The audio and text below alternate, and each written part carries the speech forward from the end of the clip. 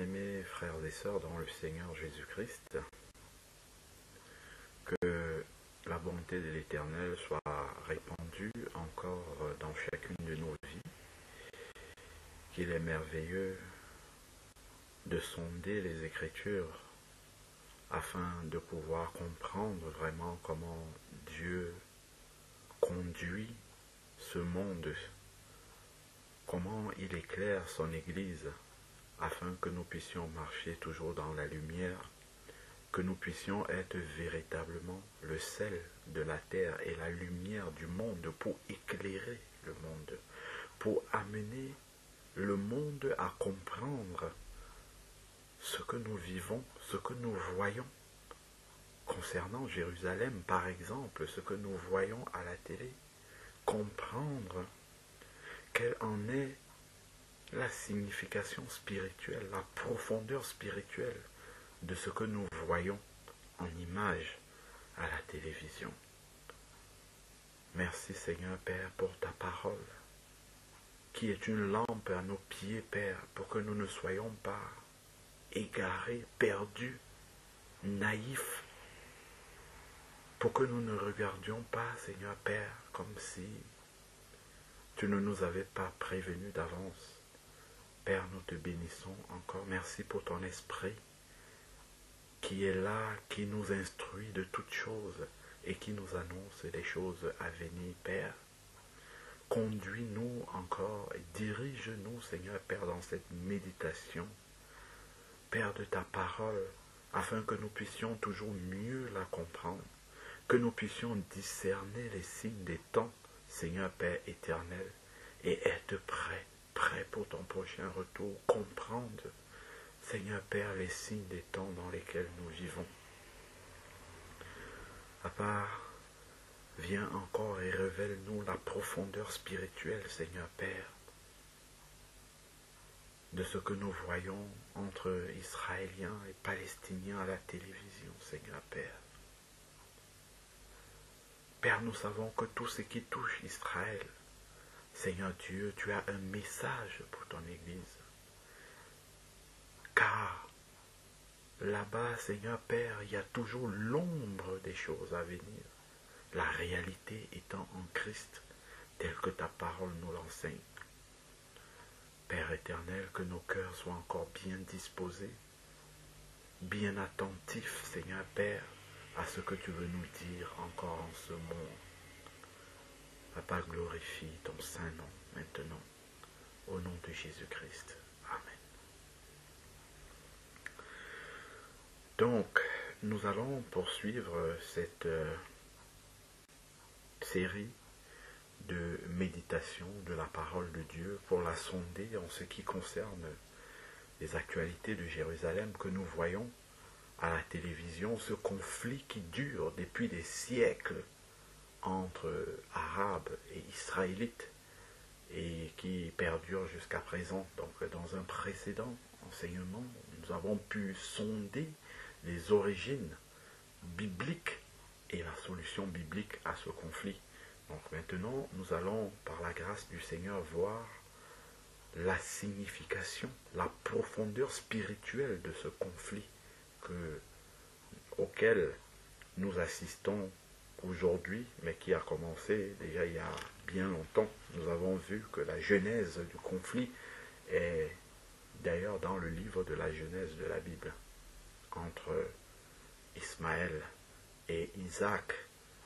La naissance d'Ismaël étant un projet charnel d'Abraham et de Sarai qui ont sollicité les services d'Agar pour pouvoir obtenir un fils. Pourtant, Dieu avait promis à Abraham qu'un héritier naîtrait de ses entrailles. Donc, nous allons poursuivre en prenant Galate.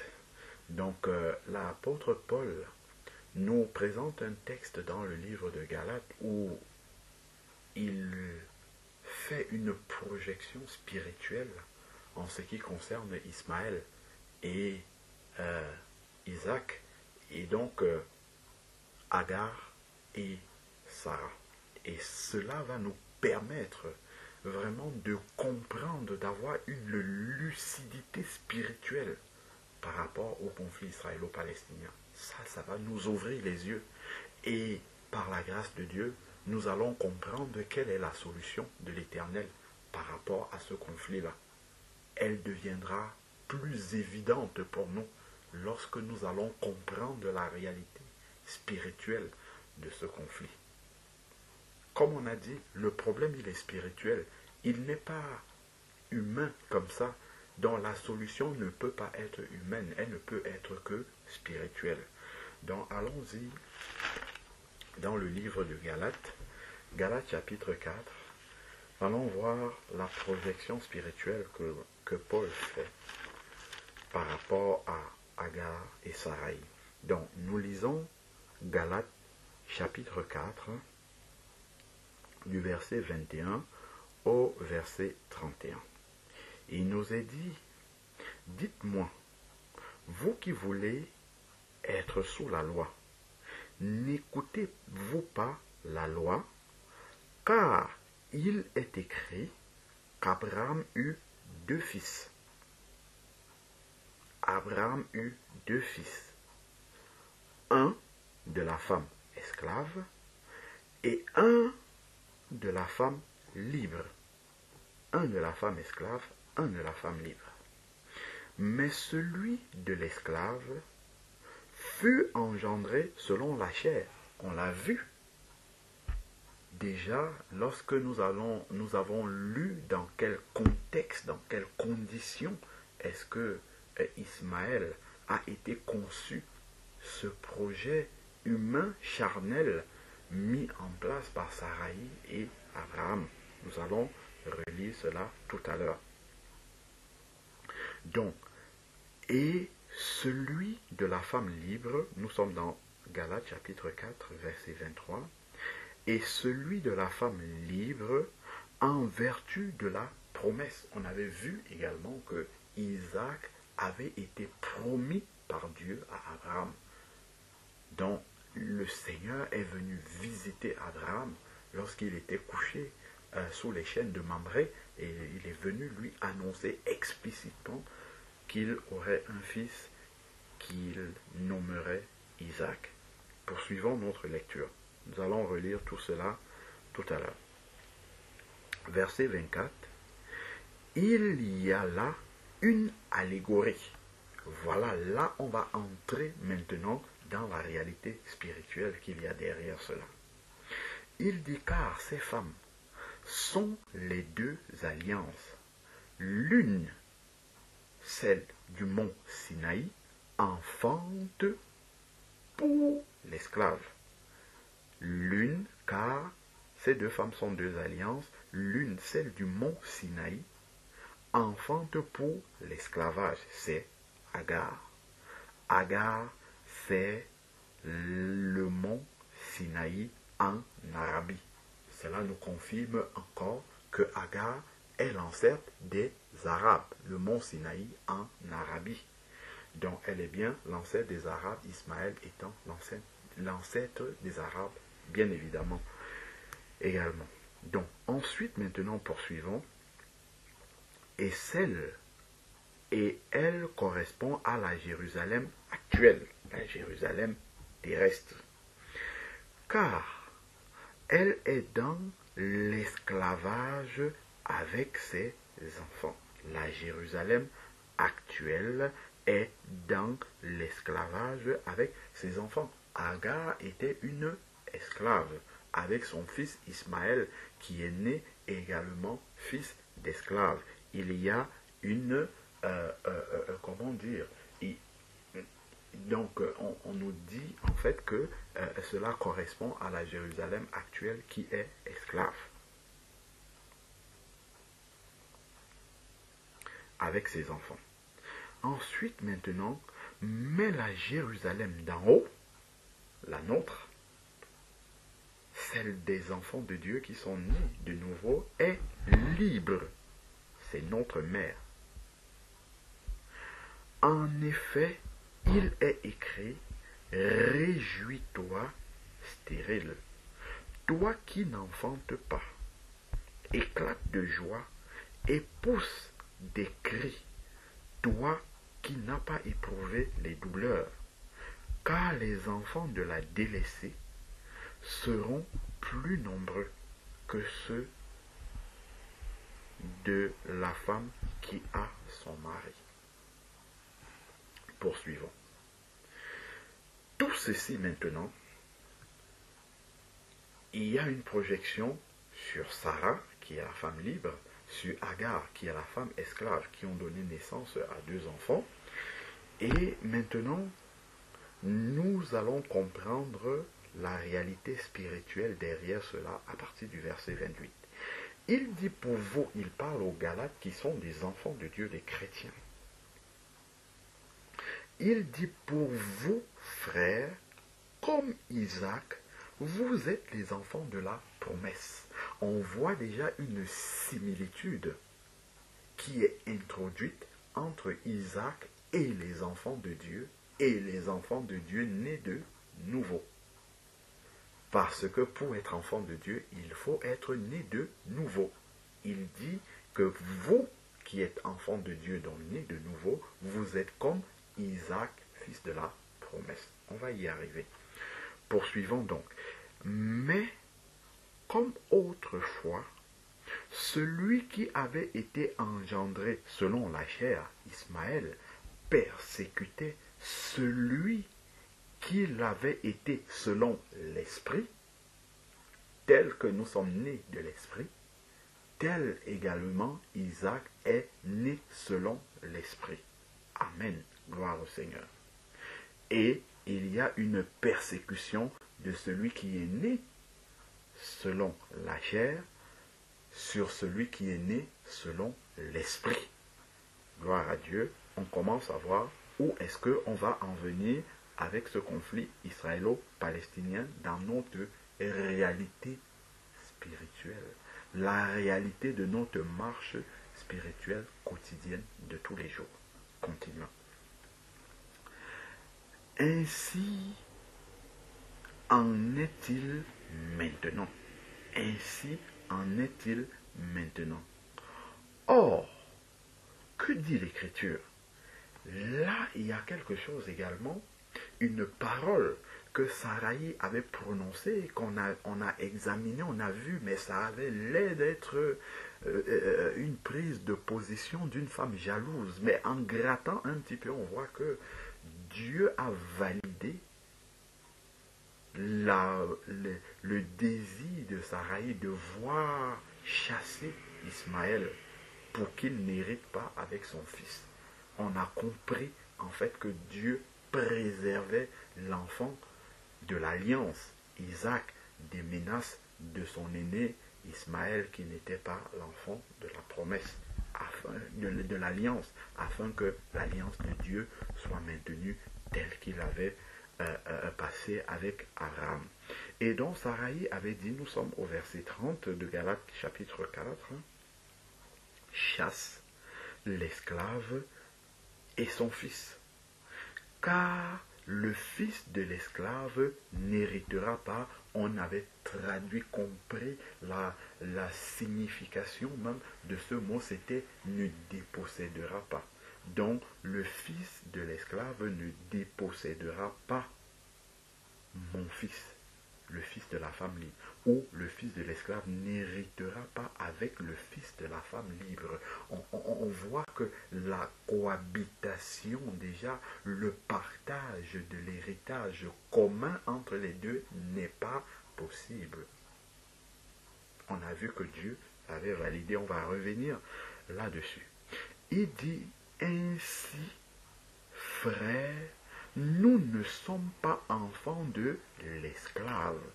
Ainsi donc, frère, il fait un parallèle avec nous, enfants de Dieu, nés de nouveau, et il dit que nous ne sommes pas enfants de l'esclave, mais de la femme libre. Donc, voilà ce que l'apôtre nous présente. Donc, nous avons vu au verset 23 qu'il nous a été dit que mais celui de l'esclave, l'Abraham a eu deux fils, celui de l'esclave a été engendré selon la chair. Retournons dans Genèse chapitre 16, versets 1 à 4, pour nous rafraîchir la mémoire sur le contexte de la naissance d'Ismaël. Donc, Genèse chapitre 16, versets 1 à 4, Sarai, femme d'Abraham, ne lui avait pas donné d'enfant.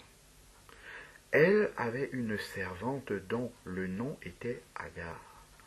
Donc Sarai dit à Abraham, elle prend une initiative personnelle d'aller vers son mari pour lui proposer une solution pour avoir un enfant sans consulter l'Éternel. Puisque l'Éternel m'a empêché d'enfanter, donc Dieu, vu qu'il ne m'a pas accordé d'enfant, je vais quand même, par un moyen charnel, par un projet charnel, par ma propre volonté humaine, je vais quand même trouver une solution pour en avoir un. Et pour cela, qu'est-ce qu'elle va lui dire? Va donc vers ma servante, lui et elle le dit à Abraham, peut-être aurais-je un fils d'elle, un fils par le biais de quelqu'un d'autre. Elle aurait un fils par le biais de quelqu'un d'autre, sans que ça ne soit un fils que l'Éternel lui donne directement, qu'elle enfante de ses propres entrailles. Donc là, nous sommes complètement dans un projet charnel, comme on l'a dit. Abraham écouta la voix de Sarai. Abraham aussi est parti directement dans la chair, oubliant ce que Dieu, la promesse que Dieu lui avait faite dans Genèse chapitre 15 où Dieu lui avait dit qu'il aura un héritier sortant de ses entrailles. Mais il, est parti sur la proposition de Sarai. Sarai, femme d'Abraham, prit donc, donc, elle va proposer, et comme Abraham a été d'accord, elle va donc mettre ce projet charnel en application. Elle va le mettre en œuvre. Verset 3, alors Sarai, femme d'Abraham, prit sa servante égyptienne Agar et la donna comme femme à Abraham, son mari, après qu'il eut habité dix ans dans le pays de Canaan. Il alla vers Agar et elle devint enceinte. Quand elle vit, elle se vit enceinte, Agar, elle regarda sa maîtresse avec mépris. Et l'on disait dans l'autre enseignement que Sarai a semé selon la chair et qui sème la chair récolte de la chair la corruption. Donc il est normal, il est logique, il est biblique, il est, il, est, cela coule de source parce que bibliquement cela est dit.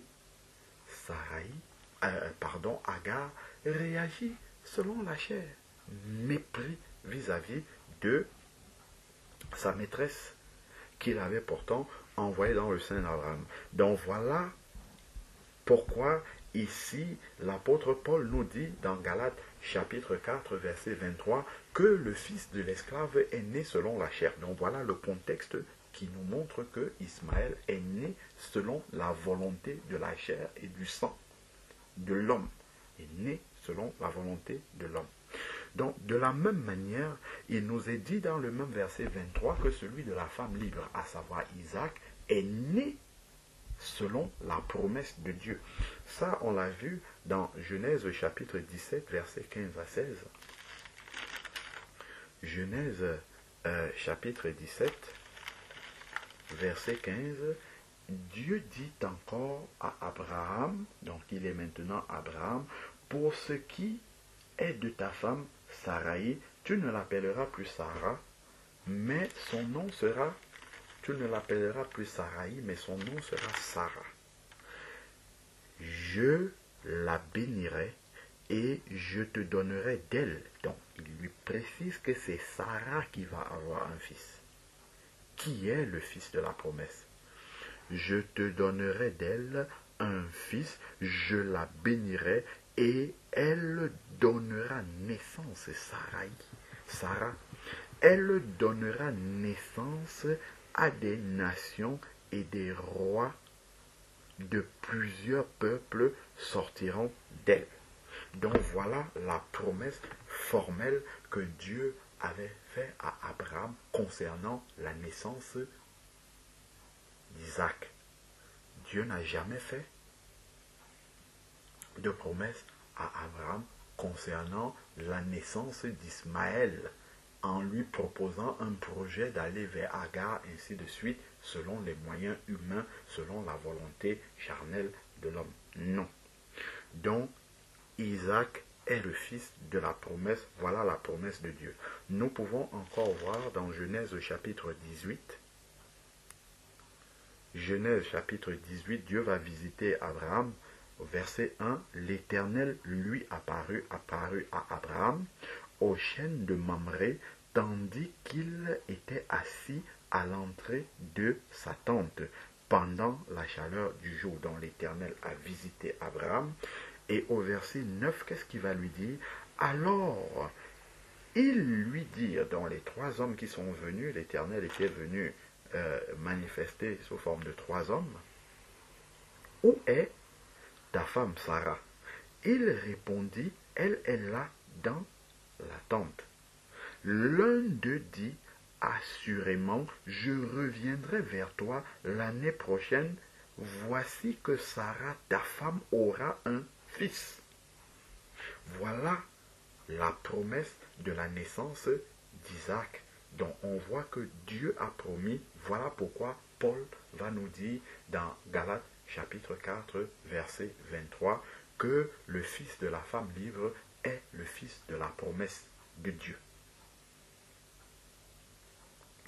Donc voilà déjà un petit peu comment est-ce que Isaac est né selon la promesse. Retournons dans Galates chapitre 4. Nous allons examiner quelque chose. Euh, Galates chapitre 4. Regardons Galates chapitre 4 verset 28. Il nous est dit pour nous frères. Là on parle des enfants de Dieu. Pour nous, euh, pour nous frères, comme Isaac, nous sommes les enfants de la promesse. Pour nous frères, c'est qui les frères? Ce sont la communauté de ceux qui sont nés de nouveau et qui sont entrés dans la famille de Dieu, qui est l'Église. Nous formons un corps qui est une famille. Donc, nous sommes nés de l'Esprit comme Isaac est né de l'Esprit. C'est ce qui est dit dans le verset 29. Il est né selon l'Esprit. Voilà, nous qui sommes appelés frères et sœurs dans le Seigneur, parce que nous sommes nés de nouveau. Jésus le dit dans Jean chapitre 3, celui qui ne naît d'eau et d'esprit, nous sommes nés de l'esprit, comme Isaac aussi est né selon l'esprit. Donc il y a une similitude entre nous, notre naissance nouvelle en Jésus-Christ, et la naissance d'Isaac. Allons-y dans la profondeur spirituelle pour voir le parallèle entre Isaac et, nous, qui sommes enfants de Dieu, nés de nouveau. Isaac est né selon la promesse, telle que nous avons pu le voir euh, dans Genèse chapitre 17, verset 15 à 16, et puis Genèse chapitre 18, verset 9 à 10. Regardons Jean chapitre 14, verset 15 à 18. Le Seigneur a dit quelque chose. Jean chapitre 14, verset 15 à 18. Jean 14, verset 15 à 18. Jésus dit, si vous m'aimez, vous gardez mes commandements. Et moi je prierai le Père qui vous donnera un autre consolateur qui soit éternellement avec vous. Donc voilà le Seigneur Jésus qui fait la promesse du consolateur. Comme Dieu a promis de donner un fils à Abraham de Sarah, qui est Isaac. De même ici, Jésus nous fait la promesse de nous envoyer un consolateur. Il vous donnera un autre consolateur qui sera éternellement avec vous. Et ce consolateur, c'est l'Esprit de vérité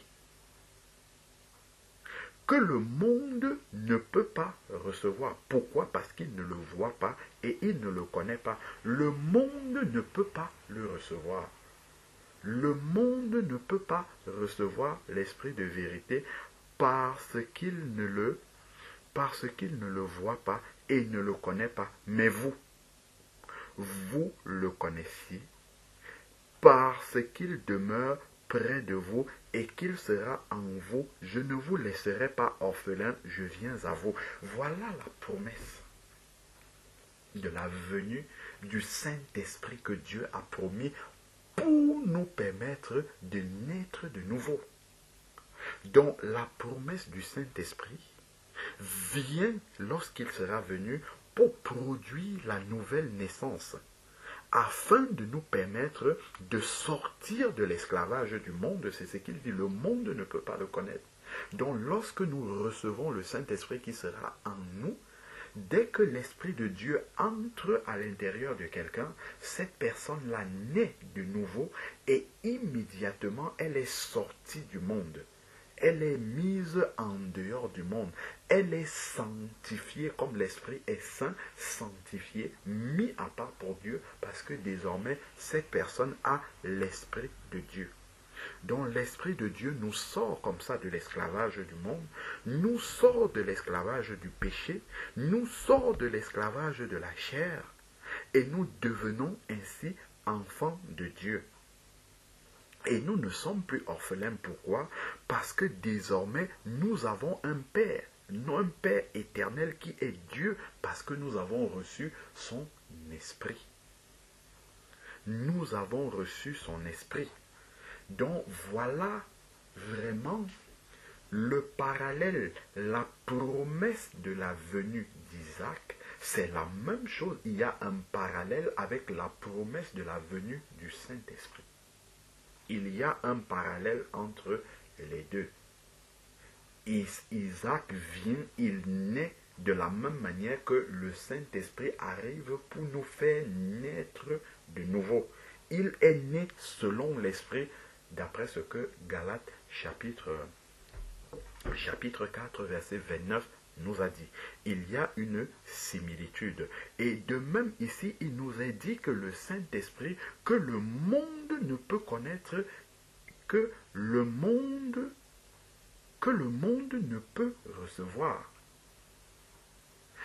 Il n'est pas surprenant que le monde ne peut pas digérer le monde qui ne connaît pas Dieu, le monde qui n'est pas né de nouveau, le monde qui n'est pas renouvelé dans l'esprit, ne puisse pas reconnaître Isaac, ne, supporte pas Isaac. Le monde ne peut pas supporter Isaac. Nous comprenons ce que ça veut dire. Le monde ne peut pas supporter Israël. Parce que Isaac, c'est Israël, en fait. Isaac donne naissance à Jacob, Jacob qui devient Israël après. Voilà pour le monde entier est contre Isaac. Le monde entier est contre Israël. Voilà ici, on nous dit, le Seigneur nous dit que le monde entier ne peut pas recevoir l'Esprit et ne le voit même pas. Voilà pourquoi l'État d'Israël. Qui est cette image-là de la venue d'Isaac, l'image du Saint-Esprit Le monde est. Le monde en a après Israël. Poursuivons. Seigneur, merci. Prenons Galates chapitre 6, euh, Galates chapitre 4.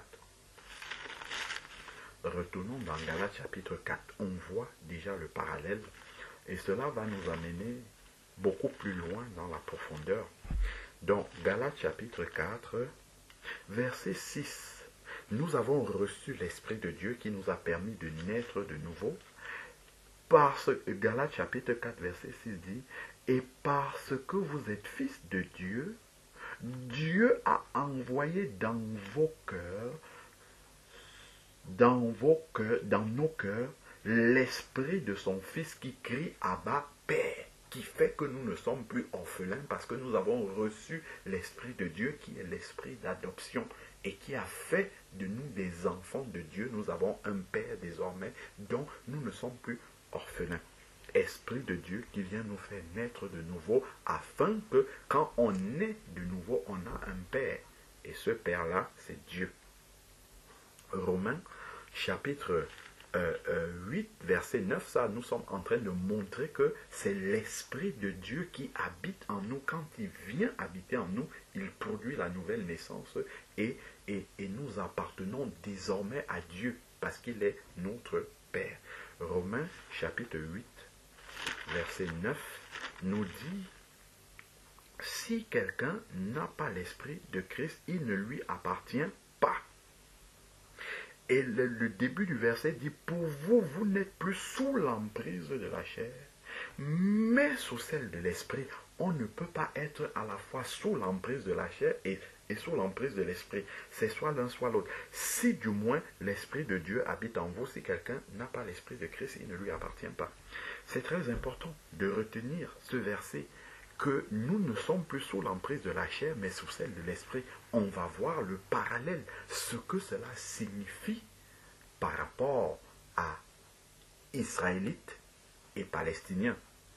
Selon le fils de la femme esclave est né selon la chair, alors que le fils de la femme libre, Isaac, est né selon l'esprit. Est-ce que la chair et l'esprit peuvent cohabiter vivre ensemble à l'intérieur d'une même personne, il nous est dit ici là, si que vous n'êtes plus sous l'emprise de la chair, mais sous celle de l'esprit. Pas les deux en même temps. Pas de Jérusalem partagée entre Ismaël et Isaac. Pas de Jérusalem partagée entre la chair et l'esprit. Non, cela n'est pas la volonté de Dieu. Spirituellement, en nous, Dieu ne veut pas que nous soyons dans la chair et dans l'esprit en même temps. Nous devons être totalement dans l'esprit. Poursuivons.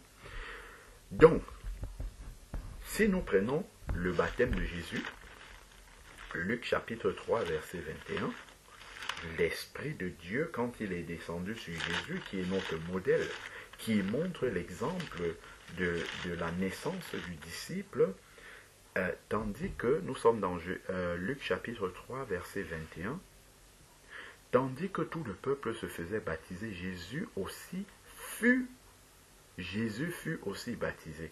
Et pendant qu'il priait, voilà, les cieux s'ouvrirent et le Saint-Esprit est descendu sur lui. Ça, c'est l'image de la réception du Saint-Esprit pour un disciple. Lorsque le Saint-Esprit descend sur lui sous la forme corporelle d'une colombe, alors maintenant une voix vient du ciel, celui-ci est mon fils. Parce que l'Esprit de Dieu est reçu par quelqu'un, cette personne-là est reconnue désormais comme fils de Dieu, bénéficiant de l'affection du Seigneur. Donc c'est l'Esprit de Dieu en nous qui atteste que nous sommes fils de Dieu. Donc, nous sommes en train de voir maintenant le parallèle entre la nouvelle naissance et la naissance d'Isaac. On a vu que la naissance d'Isaac elle a été faite sur la base d'une promesse de Dieu. De la même manière, et Galates chapitre 4, verset 29 nous a dit que Isaac est né selon l'Esprit. De la même manière, nous avons vu que Jésus a fait la promesse du Saint-Esprit qui vient, qui devait venir pour nous faire naître de nouveau et sortir du monde. Parallèle avec la naissance d'Isaac qui est né selon la promesse. Donc la naissance d'Isaac figure, préfigurait la nouvelle naissance en Christ. La naissance d'Isaac est une figure de la nouvelle naissance dans la parole de Dieu. Lorsque nous regardons dans Jean chapitre 1, regardons Jean, Jean chapitre 1. Jean chapitre 1, verset 12, il nous est dit, Mais à tous ceux qui l'ont reçu, reçu la lumière de Dieu, elle a donné cette parole-là qui est lumière également, a donné le pouvoir à ceux qui l'ont reçu de devenir enfants de Dieu.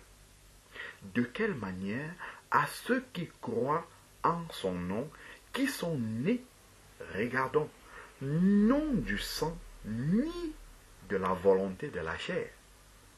Ismaël est né selon la volonté de la chair, comme on a pu le voir dans Genèse chapitre 16, versets 1 à 4.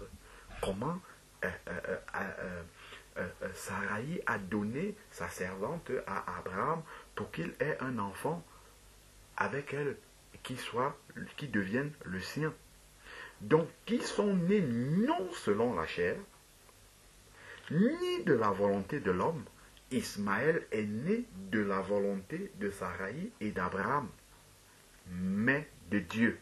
Isaac, par contre, est né de Dieu. Abraham n'a jamais demandé Isaac à Dieu. Sarai n'a jamais demandé Isaac à Dieu, mais Dieu leur a accordé miraculeusement cet enfant qui est Isaac. Donc Isaac est né selon la volonté de Dieu. Comme quelqu'un né de nouveau selon la volonté de Dieu. Image parallèle parfaite entre la naissance d'Isaac et la nouvelle naissance spirituelle en Jésus-Christ. Poursuivons ces similitudes-là entre la naissance d'Isaac et la nouvelle naissance spirituelle en Jésus-Christ, parce que c'était une figure de la nouvelle naissance. Donc, de même qu'il était impossible, humainement, qu'Abraham et Sarai aient des enfants en raison de leur âge avancé, on a vu hein, comment Sarai euh, s'étonnait lorsque euh, euh, Dieu a dit qu'elle va avoir un enfant, elle a même ri. Genèse chapitre 18, verset 11. Il était impossible, nous dit le Saint-Esprit. Genèse chapitre 18, verset 11. Abraham et Sarai étaient vieux. Ils étaient vieux d'un âge avancé. Sarah n'était plus en état d'avoir des enfants. Nous dit la parole de Dieu. Donc, humainement, il était impossible pour Sarah et Abraham d'avoir des enfants. Humainement, c'était impossible. Ben, de même, la nouvelle naissance est impossible humainement. C'était impossible pour Abraham et Sarai d'avoir Isaac. De la même manière, la nouvelle naissance humainement est impossible. Elle doit être produite miraculeusement par Dieu, tel que Isaac devait être engendré miraculeusement par Dieu. C'est la même chose. Il y a un parallèle spirituel entre les deux. La naissance d'Isaac était une préfiguration de la nouvelle naissance spirituelle en Jésus-Christ. Il est né selon l'Esprit, ne l'oublions pas, Galates chapitre 4, verset 29. Donc, de même, il est impossible humainement de produire la nouvelle naissance. Que l'on passe comme ça de la mort à la vie, que nos péchés soient totalement effacés et que nous ayons désormais la victoire sur le péché et sur la chair. Quand on voit une ancienne prostituée qui du jour au lendemain change du tout au tout parce que l'Esprit de Dieu est venu habiter en elle. Sa mentalité a changé, ses centres d'intérêt ont changé, ce qui faisait son attraction, son attirance, ses, ses projets d'avant tout est évanoui, effacé. Désormais, elle adore, elle célèbre Dieu. Elle n'est plus en train de chercher les hommes dehors. On dit waouh, c'est un véritable miracle. C'est impossible. Comment est-ce possible? De la même manière, il était inconcevable de penser que Sarai pouvait avoir un enfant. Il était impensable inconcevable pour la pensée humaine que cela puisse se produire. dont seul un miracle de Dieu pouvait donner un enfant à Abraham et Sarah, seul un miracle de Dieu de même peut produire la nouvelle naissance. La naissance d'Isaac était invraisemblable aux hommes en commençant par son propre papa et sa propre maman. Regardons Abraham. Genèse 17, 17, on l'a dit. Lorsque Dieu, verset 16, dit je, je la bénirai, il parle de, de Sarah, je la bénirai et je te donnerai d'elle aussi un fils, je la bénirai et elle donnera naissance à des nations et des rois de plusieurs peuples sortiront d'elle. Comment réagit Abraham? Abraham tomba face contre terre, il rit dans son cœur. Il va rire dans son cœur parce que c'est invraisemblable. Aujourd'hui, lorsque vous allez naître de nouveau, votre famille vous a connu. Elle vous a connu comme étant, je ne sais pas moi, peut-être euh, quelqu'un qui aimait les femmes, qui vivait dans l'adultère, qui vivait dans le concubinage, qui, multipliait les conquêtes féminines. Vous étiez quelqu'un qui passait le temps, je ne sais pas moi, à, à, à, je sais pas, toute forme de péché, peut-être dans la fraude, peut-être dans euh, euh, l'alcoolisme, peut-être dans la prostitution, euh, peut-être, je ne sais pas moi, un fêtard, vous étiez tout le temps dehors, en boîte de nuit, ainsi de suite. Du jour au lendemain, comme si un séisme s'était passé dans votre vie. Et voilà, pap, vous vous rangez constamment dans la méditation de la parole de Dieu. Votre langage qui était grossier change du jour au lendemain. Les hommes sont étonnés, ils sont ébahis, c'est invraisemblable. Ils vont même rire au début, ils vont dire mais non, tu, tu rigoles, c'est pas vrai. Tu es en train de nous faire un théâtre, un cinéma, ça te passera. Mais c'est la réalité. C'est le miracle de la nouvelle naissance. Ben, de même, lorsque Dieu dit à Abraham, tu vas avoir un fils de Sarah, il a ri. C'était pas concevable pour son esprit humain. De même, la nouvelle naissance n'est pas concevable pour un esprit humain. Sauf ceux qui sont eux-mêmes nés de nouveau déjà, qui ont reçu l'Esprit de Dieu, peuvent comprendre la nouvelle naissance. Quand vous allez venir donner votre témoignage à quelqu'un qui est né de nouveau, il va glorifier Dieu parce qu'il comprend, il sait que c'est vrai ce que vous dites. Parce qu'il est passé par là, il a vécu et il a l'esprit de Dieu parce que c'est spirituellement qu'on le comprend. Mais Abraham et Sarah n'avaient pas l'esprit de Dieu encore. Ils avaient la foi en Dieu, mais l'esprit de Dieu n'habitait pas en eux encore. Donc de même, on a lu là euh, euh, euh, Genèse chapitre 18, Saraï aussi a ri quand on lui a dit, quand, voilà l'homme qui est venu là, Genèse 18, verset 10, quand on lui annonçait qu'elle va avoir un enfant, elle écoutait derrière.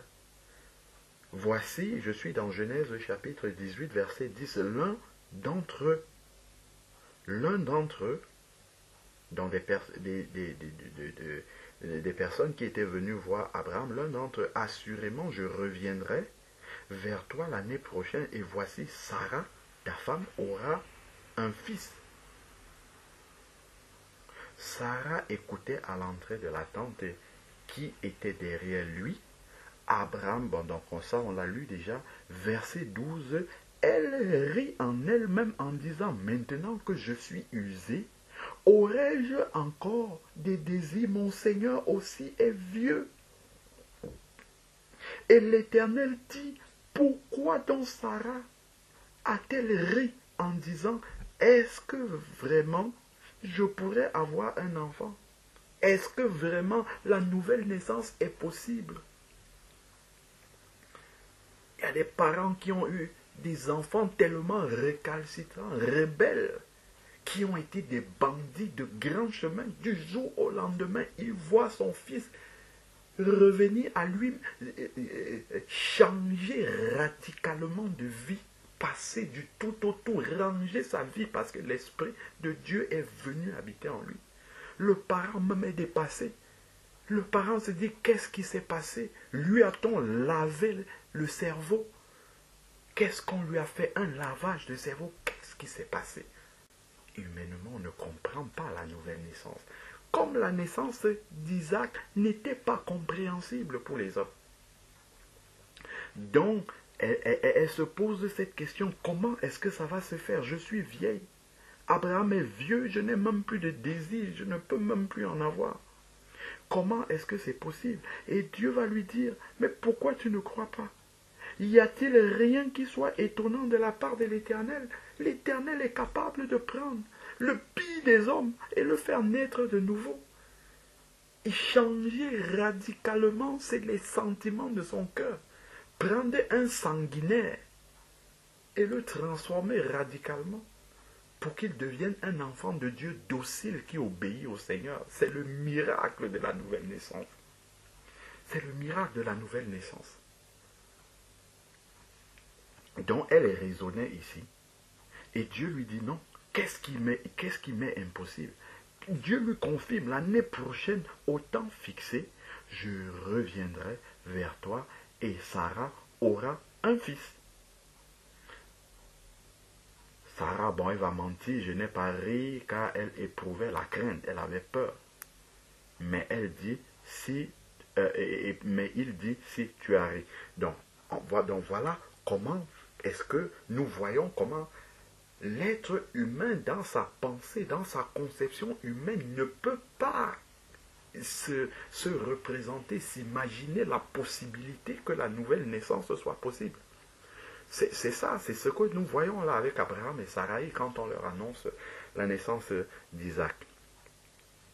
Donc de même, le miracle de la nouvelle naissance est invraisemblable à l'homme qui n'est pas régénéré impossible à concevoir pour l'intelligence humaine. Regardons. Allons, euh, nous avons vu comment Abraham et, et et, Sarah non ont eu du mal, malgré que c'est Dieu qui parlait, à comprendre ce miracle-là de la naissance d'Isaac. Ben, de même, quand Jésus va parler de la nouvelle naissance à Nicodème, Nicodème ne comprend pas du tout. Il ne comprend pas comment est-ce que c'est possible c'est le même raisonnement lorsque Dieu annonce à Abraham et à Sarai qu'ils auront un enfant. C'est la même chose, la manière humaine avec laquelle ils, ils, ils, ont du mal à s'imaginer, à se représenter qu'Ismaël, que, que, Isaac vienne de, de, fruits de leurs entrailles. Mais de la même manière, Nicodème a du mal à comprendre quand Jésus lui parle de la nouvelle naissance. Il a du mal à concevoir cela dans son esprit humain parce qu'il n'est pas né de nouveau, il n'a pas l'esprit de Dieu. Donc la naissance d'Isaac est vraiment l'image de la nouvelle naissance. C'est l'image de la nouvelle naissance. Et, et quand on va gratter, on va comprendre pourquoi Israélites et Palestiniens ne peuvent pas vivre ensemble. C'est vers là qu'on va arriver ils ne, ils ne peuvent pas cohabiter ensemble. Ils ne peuvent pas vivre ensemble. Spirituellement, ce n'est pas possible. Et on va voir pourquoi. Mais poursuivons déjà notre lecture.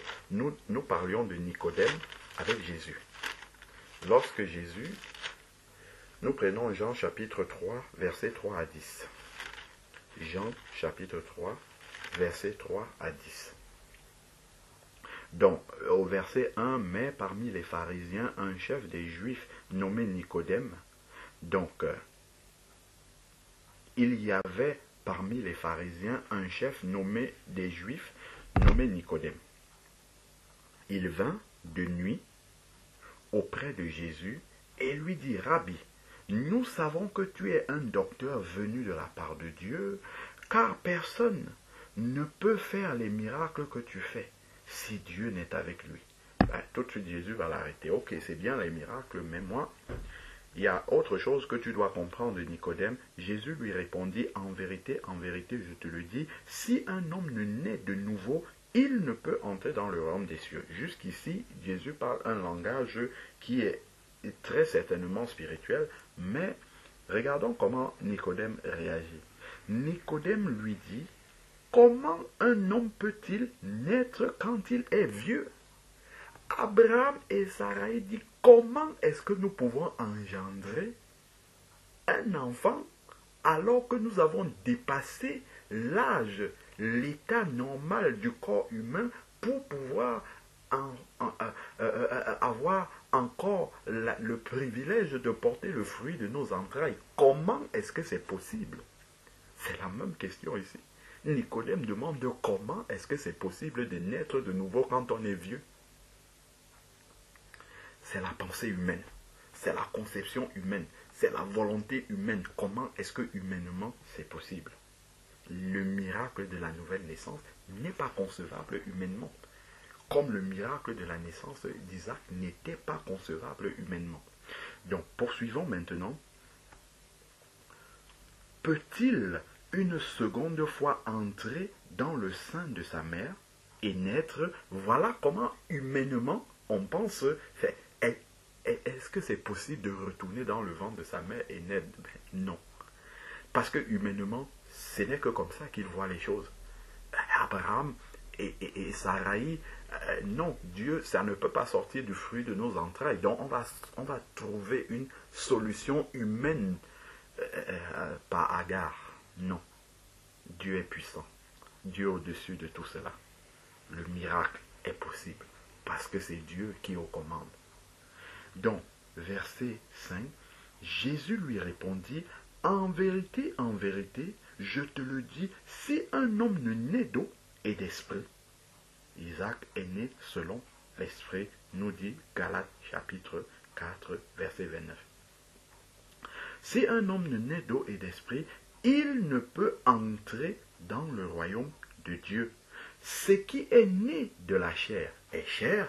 Ismaël est né selon la volonté de la chair. Cela restera charnel. Ce qui est né de l'esprit et esprit, ça ne se mélange pas. Chair et esprit ne se mélangent pas. Pourquoi voulons-nous que Jérusalem soit partagée entre l'esprit qui est Isaac, Israël, et la chair qui est Ismaël, palestinien? Ce qui est chair est chair, ce qui est esprit est esprit. On ne mélange pas les deux ensemble au même endroit. Non poursuivons. Ce qui est chair est chair, ce qui est esprit est esprit. Ne t'étonne pas que je t'ai dit, il faut que vous naissiez de nouveau, c'est une nécessité. Le vent souffle où il veut, tu en entends le bruit, mais tu ne vois pas d'où il vient ni où il va. Il en est ainsi de l'homme qui est né de l'esprit. Tu ne vois pas d'où il vient, tu ne vois pas où il va. Voilà le miracle de la nouvelle naissance. Il, donc, verset 9, Nicodème reprit la parole. Comment cela peut-il se faire? Comme Abraham, comme Sarai demandait. Et comment mon Seigneur Abraham, il est vieux, je n'ai même plus de désir.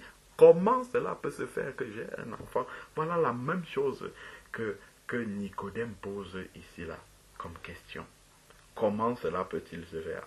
Et Jésus va lui dire, mais tu es docteur, tu es le docteur d'Israël et tu ne sais pas cela.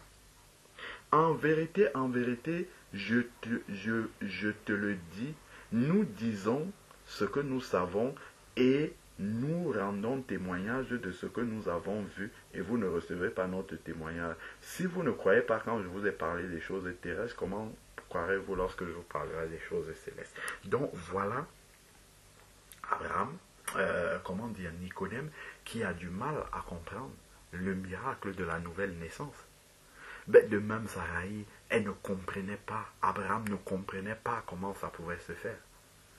Donc on a des exemples de changement radical de vie qui étonnaient les gens de la même manière que la naissance d'Ismaël étonne d'Isaac, autant pour moi.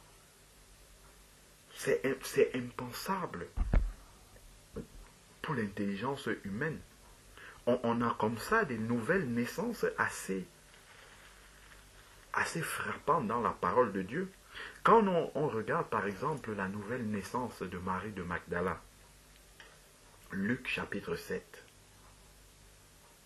mais les gens qui regardaient ça, mais ils étaient étonnés. Une femme pécheresse qui vient, qui pleure au pied de Jésus. Luc chapitre 7, versets 36 à 50. Qui pleure auprès de Jésus. On dit, mais même le, pharisien qui recevait Jésus dit, mais c'est une femme pécheresse. Comment, si cet homme était, était, était prophète, il saurait que c'est une femme pécheresse, comment la laisse-t-il s'approcher de lui? Il ne comprenait pas. Les disciples même disent, mais pourquoi elle vient gaspiller du parfum comme ça on aurait pu vendre aux pauvres. Je nous économise la lecture. Vous pourrez lire tranquillement l'histoire de la conversion de Marie de Magdala, Luc chapitre 7, versets 36 à 50. Ils étaient étonnés. Et Jésus va dire à la fin, tes péchés te sont pardonnés. Jésus va même parler à Simon, ce pharisien qu'il invitait chez lui. Il lui dit, voilà, si un homme a deux créanciers, l'un qui lui doit une somme faible et l'autre qui doit une somme importante, et qu'il il, remet la dette aux deux, mais lequel sera plus reconnaissant? Il dit celui à qui on a plus pardonné. Il dit oui, tu as jugé juste. Il, il essayait d'ouvrir l'intelligence de Simon, ce pharisien, pour qu'il comprenne le miracle de la nouvelle naissance, le miracle du salut, le miracle du pardon des péchés. Ce qui est impensable pour la conception humaine. Nous avons le cas de Zachée aussi. Luc chapitre 19, verset 1 à 10. Zachée qui était un collecteur d'impôts malhonnête. Personne n'aurait pu imaginer que Dieu peut s'intéresser à une telle personne. Mais quand Zachée apprend que Jésus est là à Jéricho, il monte, parce qu'il était de petite taille, il monte sur un sycomore pour voir passer Jésus. Et quand Jésus passe, celui que personne, personne n'avait d'égard pour lui, personne, tout le monde le voyait comme un perdu. Jésus va l'appeler, Jésus dit, euh, Zachée, descends, car je souperai chez toi aujourd'hui. Voilà le miracle de la nouvelle naissance. Et ça, ça dépasse la conception humaine. Là, on va voir le jeune homme riche qui vient, qui se tape la poitrine. Seigneur, moi, je respecte tous les commandements. Que me manque-t-il? Parce qu'il pensait que la nouvelle naissance est un mérite. Ce n'est pas une question de mérite. C'est un miracle de Dieu qui se, qui se produit dans une vie, dans un cœur qui s'approche de Dieu, tout simplement comme Marie de Magdala comme Zachée qui est monté sur le sycomore pour voir Jésus. Jésus a vu ce cœur qui le cherchait et Jésus dit c'est bon, le salut est entré dans ta maison. Le miracle de la nouvelle naissance. Zachée commence à dire oui, si j'ai pris quelque chose de l'argent à quelqu'un, je lui rembourse, je lui donne quatre fois plus. Voilà le miracle de la nouvelle naissance. Et les gens étaient étonnés. Comment Jésus peut entrer chez un malhonnête comme Zachée Comment Jésus peut faire une telle chose? Parce que dans la pensée humaine, dans la conception humaine des choses, on ne peut pas imaginer, l'humain ne peut pas concevoir le miracle de la nouvelle naissance. Similitude entre la naissance d'Isaac et la nouvelle naissance spirituelle. Autant les gens étaient ébahis les gens étaient, c'était incompréhensible, c'était risible même. Parce qu'on disait, mais c'est une plaisanterie. Ce n'est pas possible qu'une femme à 90 ans, son mari 100 ans, ait un enfant du fruit de leurs entrailles. Ben, de même, voici des profils de personnes qui se sont converties au Seigneur de manière miraculeuse. Personne n'aurait pu parier que ces personnes-là, Dieu pouvait s'intéresser à eux. Nous avons le cas aussi du brigand sur la croix. Luc chapitre 23, versets 39 à 43. Le brigand sur la croix, nous ne savons pas quelle est sa vie, mais s'il a été, euh, euh, euh, s'il était destiné à être crucifié, c'est quelqu'un qui vraiment devait avoir commis de grands forfaits, devait avoir fait des choses graves. Mais un tel pécheur, carrément au crépuscule de sa vie sur la croix, comment peut-on imaginer qu'une telle personne puisse être sauvée? Mais Jésus a sauvé cette personne. Parce qu'il dit à son, son, autre voisin là-bas, mais nous, on mérite, on mérite ce qui est le châtiment que nous avons.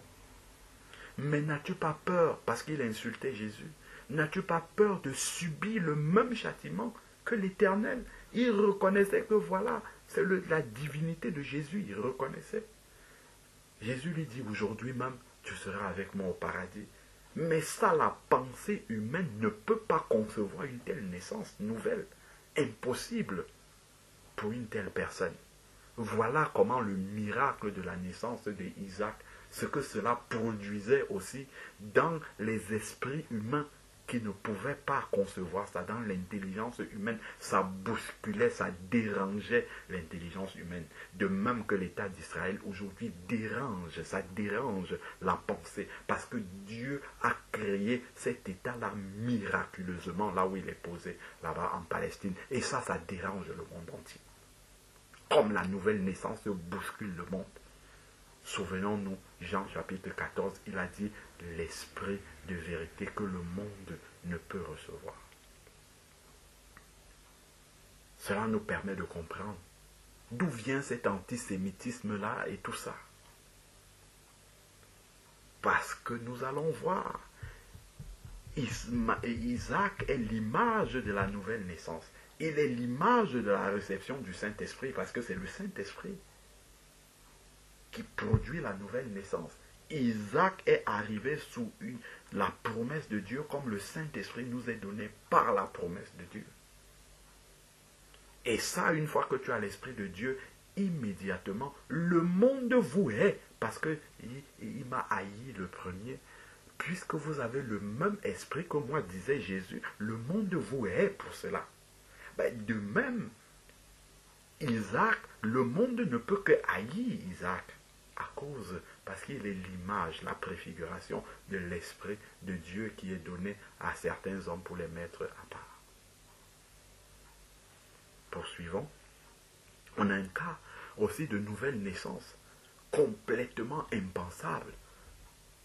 Saul de Tarse, devenu Paul, acte chapitre 9, sur le chemin de Damas, en train d'aller persécuter les chrétiens avec des lettres à l'appui, et qui rencontre le Seigneur sur son chemin. Saul, Saul, pourquoi me persécutes-tu? Qui es-tu, Seigneur? Je suis Jésus que tu persécutes. Voilà qui tombe de son cheval, de, de, je ne sais pas, de, ce sur quoi il était, il tombe. Une grande lumière vient, il passe dans les ténèbres trois jours et il naît de nouveau. Voilà le miracle de la nouvelle naissance. Quand il revient, il exprime cela, acte chapitre 26 au roi Agrippa. Les gens sont dépassés, mais comment est-ce que c'est possible? Comment il peut virer, faire un virage à 180 degrés comme ça, totalement changer radicalement? Comment est-ce possible? Le miracle de la nouvelle naissance. Inconcevable pour la pensée humaine. Humainement impensable. Mais Dieu l'a fait. Comme Isaac, miracle également. Donc, nous avons vu dans Genèse, nous retournons, nous sommes en train de voir les similitudes entre la naissance nouvelle et la naissance d'Isaac.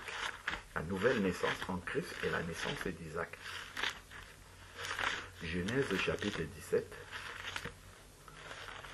Genèse chapitre 17, verset 21 nous dit quoi? Genèse chapitre 17, verset 21 nous parle de l'alliance. Mais en ce qui concerne mon alliance, c'est Dieu qui parle, je l'établirai avec Isaac que Sarah te donnera, le fils de la femme libre. N'oublions pas. Le fils de la femme libre, c'est avec lui qu'il fera son alliance Dieu. il y a une vérité spirituelle derrière. Mais en ce qui concerne mon alliance, je l'établirai avec Isaac que Sarah te donnera à cette même époque l'année prochaine. À cette époque, l'année prochaine. Donc, l'alliance de Dieu est avec Isaac, de même que notre alliance avec Dieu est marquée par la présence de quoi? Du Saint-Esprit. Notre alliance avec Dieu, c'est la présence du Saint-Esprit. Et le Saint-Esprit vient nous affranchir du péché, vient nous rendre la liberté, vient nous délivrer. Il nous a délivrés de la puissance des ténèbres, nous dit Colossiens 1, verset 13. Il vient nous libérer de l'esclavage de la chair, le Saint-Esprit, lorsqu'il vient en nous. Donc notre alliance avec Dieu, c'est la présence du Saint-Esprit en nous, comme peut nous dire Éphésiens chapitre 1 verset 13 par exemple. Éphésiens chapitre 1 verset 13. Le gage de notre alliance avec Dieu, c'est la présence du Saint-Esprit en nous. Isaac est le fils de l'alliance. N'oublions pas cela. Dans Éphésiens, nous sommes en train de voir les parallèles. Éphésiens chapitre 1, verset 13 nous dit, En lui, en Jésus-Christ, vous aussi, après avoir entendu la parole de vérité, l'évangile de votre salut, en lui vous avez cru et vous avez été scellés du Saint-Esprit qui avait été promis, comme Isaac avait été promis. Nous avons été scellés du Saint-Esprit qui avait été promis. L'alliance de Dieu avec Abraham, l'alliance de Dieu est avec Isaac, comme notre alliance avec Dieu est matérialisée par le Saint-Esprit. Isaac était le symbole de l'alliance entre Dieu et Abraham. De même, le Saint-Esprit est le gage de l'alliance entre Dieu et nous. Nous sommes fils d'Abraham par la foi. Nous sommes cette image-là de notre Père de la foi. Donc, son alliance avec Dieu était matérialisée par Isaac, bien sûr, la circoncision et tout. Donc, Isaac est cette image-là du Saint-Esprit. Est cette préfiguration-là du Saint-Esprit. Et on va comprendre la conséquence que cela a après dans le conflit israélo-palestinien. Nous y sommes.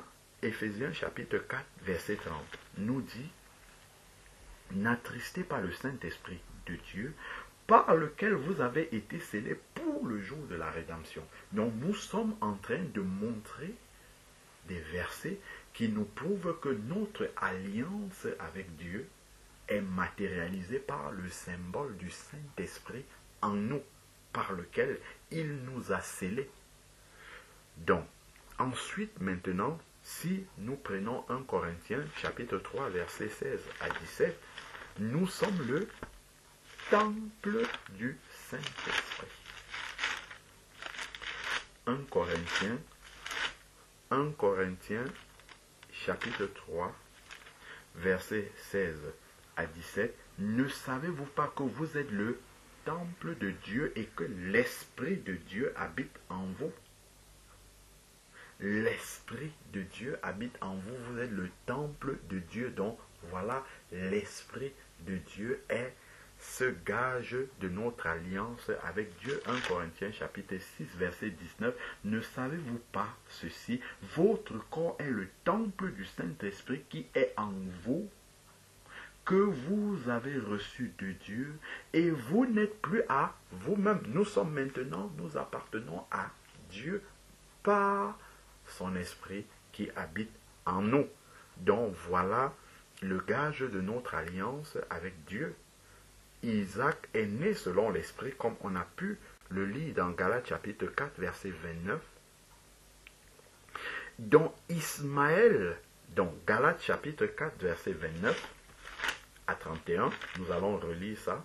Galates chapitre 4, versets 29 à 31, il nous est dit, Mais comme autrefois, celui qui avait été engendré selon la chair persécutait celui qui l'était selon l'esprit, ainsi en est-il encore maintenant Palestinien continue à persécuter Isaac.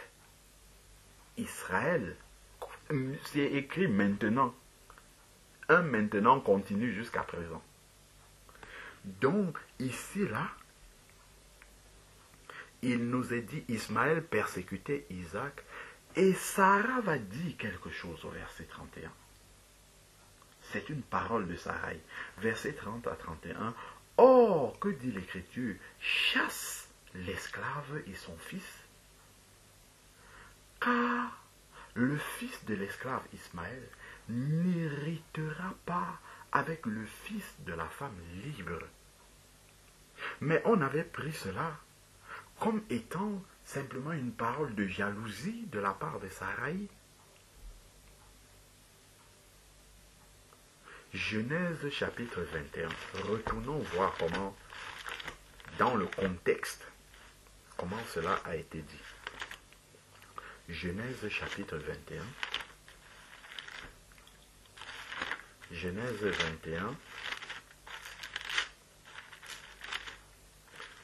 Genèse 21, versets 8 à 13. Verset 8 à 13. Il nous est dit, l'enfant grandit et fut sevré. Abraham fit un grand festin le jour où Isaac fut sevré. Sarai vit rire le fils. Il va rire. Que l'Égyptien Agar avait donné à Abraham. Et elle dit, elle va dire à Abraham, chasse cette servante et son fils, car le fils de cette servante n'héritera pas, ne dépossédera pas. On a vu ça, euh, euh, mon fils Isaac. Et Abraham, lui, ça va lui déplaire complètement. Donc cette parole plus fort à Abraham à cause de son fils. La chair était là. L'amour du fils qu'il a eu était là. Mais Dieu dit à Abraham, donc Dieu va ramener, comme on avait déjà dit euh, euh, dans l'autre enseignement, va ramener Abraham sur le terrain spirituel pour qu'il comprenne. N'aie pas de déplaisir à cause du garçon et de ta servante. Accorde à Sarah ce qu'elle te demandera, parce que c'est la volonté du Seigneur. Accorde-lui ce qu'elle te demandera. Car c'est par Isaac que tu auras une descendante qui te sera une descendance qui te sera propre. Je ferai une nation du fils de la servante, car il est ta descendante. Dieu donne cette promesse. Donc voilà la réaction de Sarai, qui, de Sarah, qui était une réaction qui paraît une pure jalousie, alors que derrière Dieu, les voix de Dieu ne sont pas les mêmes que les nôtres. Comme nous dit Ésaïe chapitre 55, verset 8 à 9. Ésaïe 55, verset 8 à 9. Nous parle des voix de Dieu et des nôtres. La manière dont on imagine que les choses doivent se passer, ce n'est pas nécessairement comme ça que Dieu l'imagine. Ésaïe chapitre 55. Ésaïe chapitre 55, verset 8 à 9. Car mes pensées ne sont pas vos pensées humaines, et vos voix ne sont pas mes voix. Autant les cieux sont élevés au-dessus de la terre, autant mes voix sont élevées au-dessus de vos voix et mes pensées sont au-dessus de vos pensées. Donc nous, nous pouvons voir juste avec un regard humain comme ça de la jalousie derrière l'acte de Sarah, mais derrière cela, en fait, elle a prophétisé quelque chose d'essentiel dans la foi chrétienne elle a prophétisé quelque chose d'essentiel. Elle dit le fils de l'esclave, le fils qui est né selon la chair n'héritera pas avec mon fils qui est né selon l'esprit. C'est ça qu'elle dit derrière. Elle a prophétisé. Elle a prophétisé. En fait, Sarai a prophétisé que lorsque l'esprit vient lors de la nouvelle naissance, qui est matérialisée par la naissance d'Ismaël, c'est l'Esprit de Dieu qui vient. La chair ne doit pas rester. Alléluia. La chair ne doit pas rester quand l'Esprit vient. La chair doit être crucifiée, elle doit partir. Quand l'Esprit vient, Isaac est né selon l'Esprit, comme on a vu dans Galates chapitre 4, verset 29. Euh, la chair doit partir. Le fils de l'esclave né selon la chair doit partir. L'esclave Agar, avec son fils esclave, doivent partir parce que quand l'Esprit vient, il vient pour nous affranchir. Il vient pour que nous soyons libres, que nous ne soyons plus prisonniers de la chair. Voilà pourquoi Agar, avec son fils, l'esclave, doit partir lorsque le fils né selon l'esprit vient. C'est ça qui se produit lors de la nouvelle naissance. Quand l'esprit vient, la chair part. Quand l'esprit vient, ce qui est charnel doit partir. C'est ça qu'il y a derrière la parole de, Sarah. C'est ça qu'elle est en train d'exprimer ici. Mon fils né selon l'esprit, c'est la venue du Saint-Esprit dans une vie. Il ne peut pas hériter avec le fils de l'esclave. Parce que quand l'esprit vient, il n'y a plus d'esclavage. C'est fini l'esclavage du péché. C'est terminé l'esclavage de la chair. Donc le fils de l'esclave, né selon la chair, doit partir. La chair doit faire bagage, doit libérer. Spirituellement, un enfant de Dieu ne doit pas concevoir que Palestiniens et Israéliens vivent au même endroit. La chair et l'esprit ne vivent pas ensemble dans un même être. Dans un enfant de Dieu qui est né de nouveau, l'esprit et la chair ne doivent pas vivre ensemble. Jésus a dit à Nicodème, parlant de la nouvelle naissance, ce qui est chair est chair, ce qui est esprit esprit, ça ne se mélange pas. Jérusalem, partagée entre Palestiniens et Israéliens, non, ce n'est pas la volonté de Dieu. Ça ne reflète pas du tout la réalité spirituelle d'un enfant de Dieu né de nouveau, selon la volonté de Dieu. Dieu ne veut pas que son enfant marche par la chair et par l'esprit en même temps. Sinon, ça fait de lui un schizophrène spirituel. Dieu ne fabrique pas des schizophrènes. Il fabrique des enfants nés de l'esprit. Voilà pourquoi les Palestiniens doivent se déplacer. Comme la chair doit partir dans une vie lorsque l'esprit vient, ils doivent se déplacer et vivre à côté d'Israël. À côté, mais pas dans Israël, pas avec Israël. Sinon, il y aura toujours des problèmes. Comme lorsqu'on marche par la chair et par l'esprit, en même temps, toujours la chair fait la guerre à l'esprit. Quand on nous dit la parole de Dieu, c'est ça. L'esprit dit, c'est ça la volonté de Dieu. La chair combat. La chair, non, je ne veux pas. Je ne me soumets pas des choses de l'esprit. La chair ne reçoit pas cela. Conflit israélo-palestinien, problème entre la chair et l'esprit dans notre être. Enfant de Dieu, c'est ça la vérité. C'est ça la réalité. Le conflit israélo-palestinien est la guerre que nous avons dans notre propre marche avec le Seigneur entre la chair et l'esprit. Voilà la vérité. Les deux ne doivent pas vivre ensemble. La chair doit partir, l'esprit doit rester. La chair doit se mettre de côté pour que l'esprit agisse. Alléluia. Donc voilà la prophétie qu'il y avait derrière ce que Sarah a dit, mon fils n'héritera pas avec le fils de la femme esclave. Donc, et Paul, dans Galates chapitre 4, utilise cette similitude-là pour introduire Galates chapitre 5. Galates chapitre 5 qui parle de l'opposition entre l'esprit et la chair. D'ailleurs, on connaît les célèbres versets Galates 5, 19 qui donne les œuvres de la chair et Galates 5, 22 qui donne les œuvres de l'esprit pour montrer comment ils sont opposés entre eux. L'esprit et la chair ne cohabitent pas ensemble, ils se font la guerre.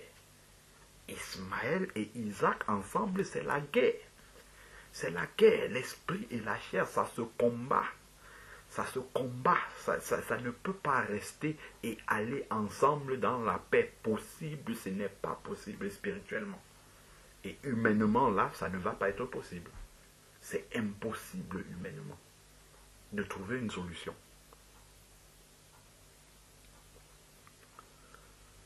Ah Comme le monde combat l'esprit de Dieu, ben le monde ne peut que combattre Isaac, Israël. Comme le monde est contre le message de Jésus-Christ, qui est manifesté par la puissance de l'Esprit de Dieu, le monde entier ne peut qu'être contre Israël, contre Isaac. C'est ça la vérité que les chrétiens doivent savoir. Ils doivent ouvrir les yeux spirituellement pour comprendre la profondeur de ce que nous voyons à la télé là. Donc voilà déjà ce que nous voyons. Donc dit que Israël, qui est Isaac, en fait peut vivre en paix avec les Palestiniens ou les Arabes plus généralement, qui est Ismaël, c'est penser que la chair peut cohabiter avec l'esprit sans problème dans un même corps. La parole de Dieu est claire. Regardons Galates, Galates chapitre 5, verset 16 à 18. Galates chapitre 5, ça serait naïf de dire il faut qu'il y ait la paix entre Israéliens et Palestiniens, il faut qu'il y ait la paix. C'est naïf de penser ça. C'est comme si quelqu'un prie et il dit Seigneur, permets que ma chair soit en paix avec mon esprit. C'est ça que l'on demande au Seigneur, non? Prions que Dieu fasse que les Palestiniens se mettent de côté, qu'ils laissent Jérusalem à Israël. Et, là, il y aura la paix quand la chair est en dehors de notre corps. Oui, quand elle agit loin de nous, oui, là, le corps est en paix. Nous sommes conduits par l'Esprit. Romains chapitre 8, verset 14. Ceux qui sont conduits par l'Esprit sont fils de Dieu. Là, il y a la paix. Mais pas avant mais pas les deux cohabitant ensemble. Là, il n'y a pas la paix. C'est toujours la guerre. Donc, Galates chapitre 5, on a dit, versets 16 à 18. Galates 5, 16 à 18. Galates 5, 16 à 18. Il nous est dit, je vous dis donc, marchez par l'esprit. C'est le chapitre qui vient juste après avoir parlé d'Ismaël, d'Isaac, d'Agar et de Sarah. Et là, il dit, frère, euh, non, pardon, euh, euh, je vous dis donc, marchez par l'esprit et vous n'accomplirez point les désirs de la chair. Parce que quoi? Car la chair a des désirs contraires à ceux de l'esprit. Palestiniens ne peuvent avoir que des désirs contraires à ceux d'Israël. Isaac ne peut avoir, Ismaël ne peut avoir que des désirs contraires à ceux d'Isaac. Ça ne marche pas ensemble. Les deux au même endroit, dans un même corps, non, ça ne marche pas. Dans la même capitale, là, non, non. C'est pas ça la volonté de Dieu. Spirituellement, ce n'est pas possible. Donc il dit et l'esprit en a de contraire à ceux de la chair.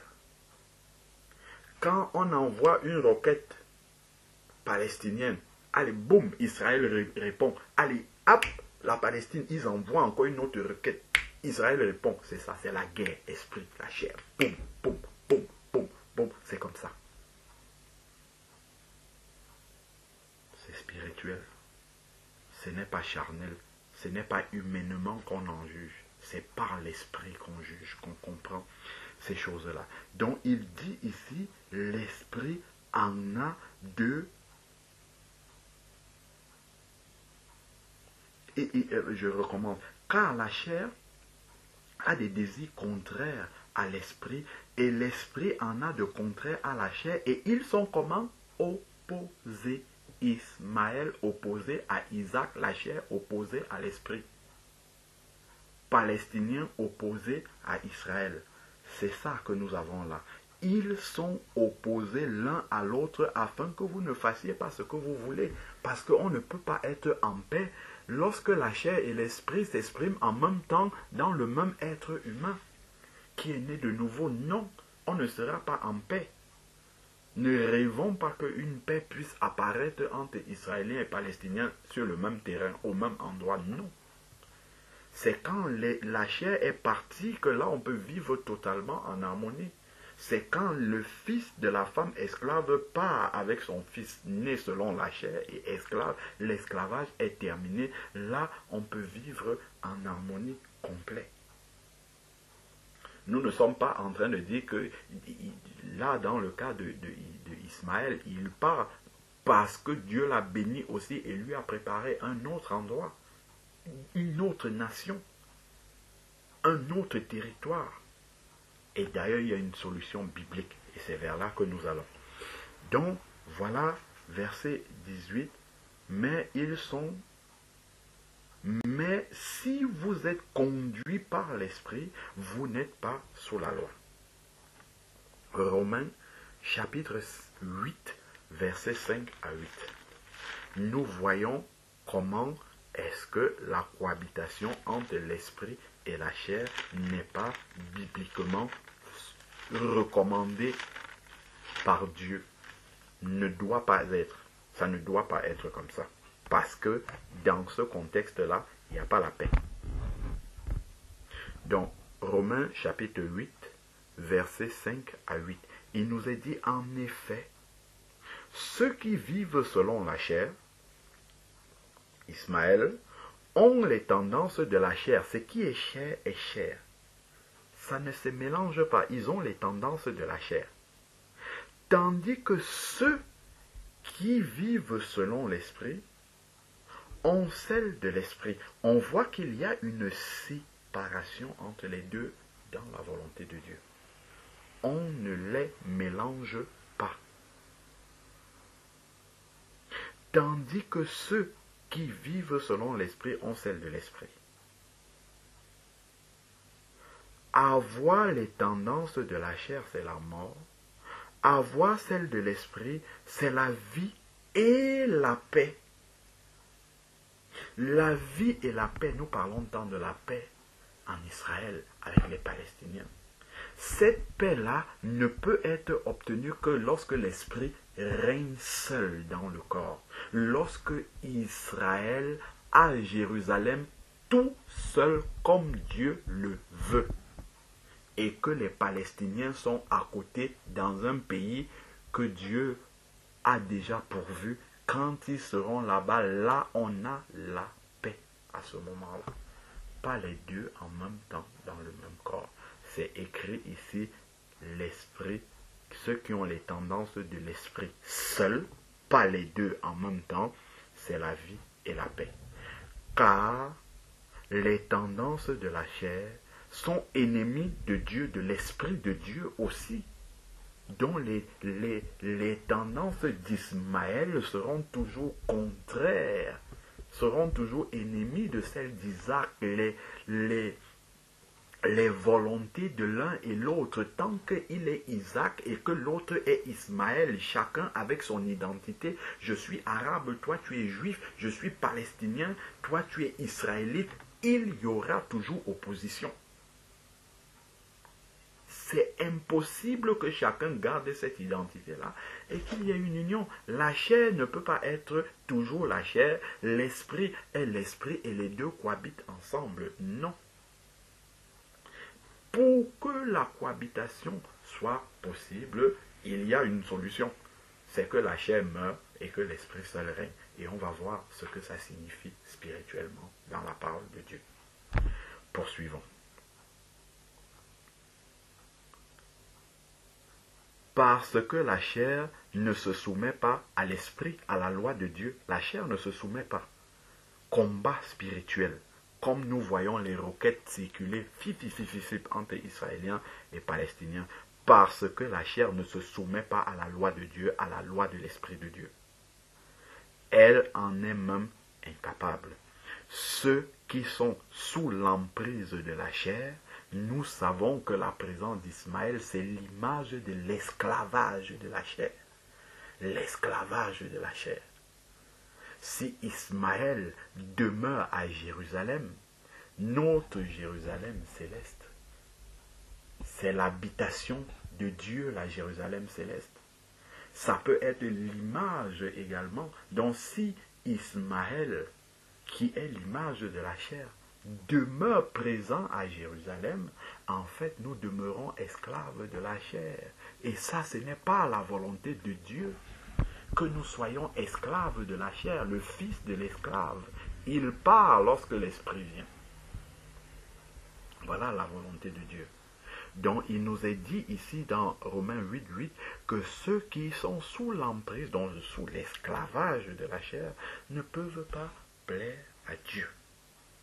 Donc comme Ismaël, dont les Arabes, va, Ismaël va toujours, ils vont toujours s'opposer à Isaac, donc à Israël, tant qu'ils cohabitent l'un avec l'autre en gardant leur identité propre comme on disait tout à l'heure. Arabe dit non, moi je suis arabe, je suis palestinien. L'autre dit non, moi je suis juif je garde l'autre l'islam, l'autre euh, la Torah, enfin le, le judaïsme. Non, ça ne marche pas comme ça.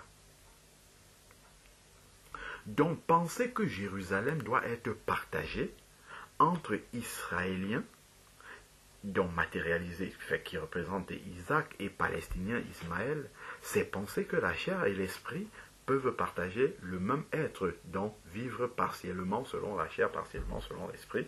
On l'a déjà dit, cela n'est pas possible, ce n'est pas la volonté de Dieu. Dieu lui dit dans Galates chapitre 5, verset 24, Galates chapitre 5, verset 24, Dieu nous donne sa volonté. Il y a l'un qui doit partir. C'est un rappel de ce que nous disons là depuis. Galates chapitre 5. Galates chapitre 5, versets 24 à 25. Galates 5, verset 24 dit, ceux qui sont en Jésus-Christ ont crucifié la chair et ses passions. On ne peut pas être en Jésus-Christ, avoir l'Esprit de Dieu et garder la chair avec nous. Dans la Jérusalem de notre cœur, nous ne pouvons pas garder la chair quand même présente. Non, l'Esprit doit régner totalement. De même dans la Jérusalem physique qui est là, Ismaël, le fils de l'esclave, ce n'est pas sa place là-bas. Il doit se mettre de côté, selon la volonté du Seigneur, dans le territoire que Dieu lui a donné. Donc, ceux qui sont en Christ ont crucifié la chair. C'est ce que Sarah disait. Mon fils n'héritera pas avec le fils de la femme esclave. Parce que quand le fils de la promesse, le fils selon l'esprit, quand l'esprit de Dieu vient, la chair doit être crucifiée avec ses passions et ses désirs. Si nous vivons par l'esprit, marchons par l'esprit. Donc totalement par l'esprit. Pas mi-esprit, mi-chair. Pas Jérusalem partagé entre Israéliens et Palestiniens. Non mi-esprit, mi-chair. C'est schizophrène spirituel. Schizophrène spirituel, ce n'est pas ça que Dieu veut. Il veut des gens qui marchent pleinement par l'esprit.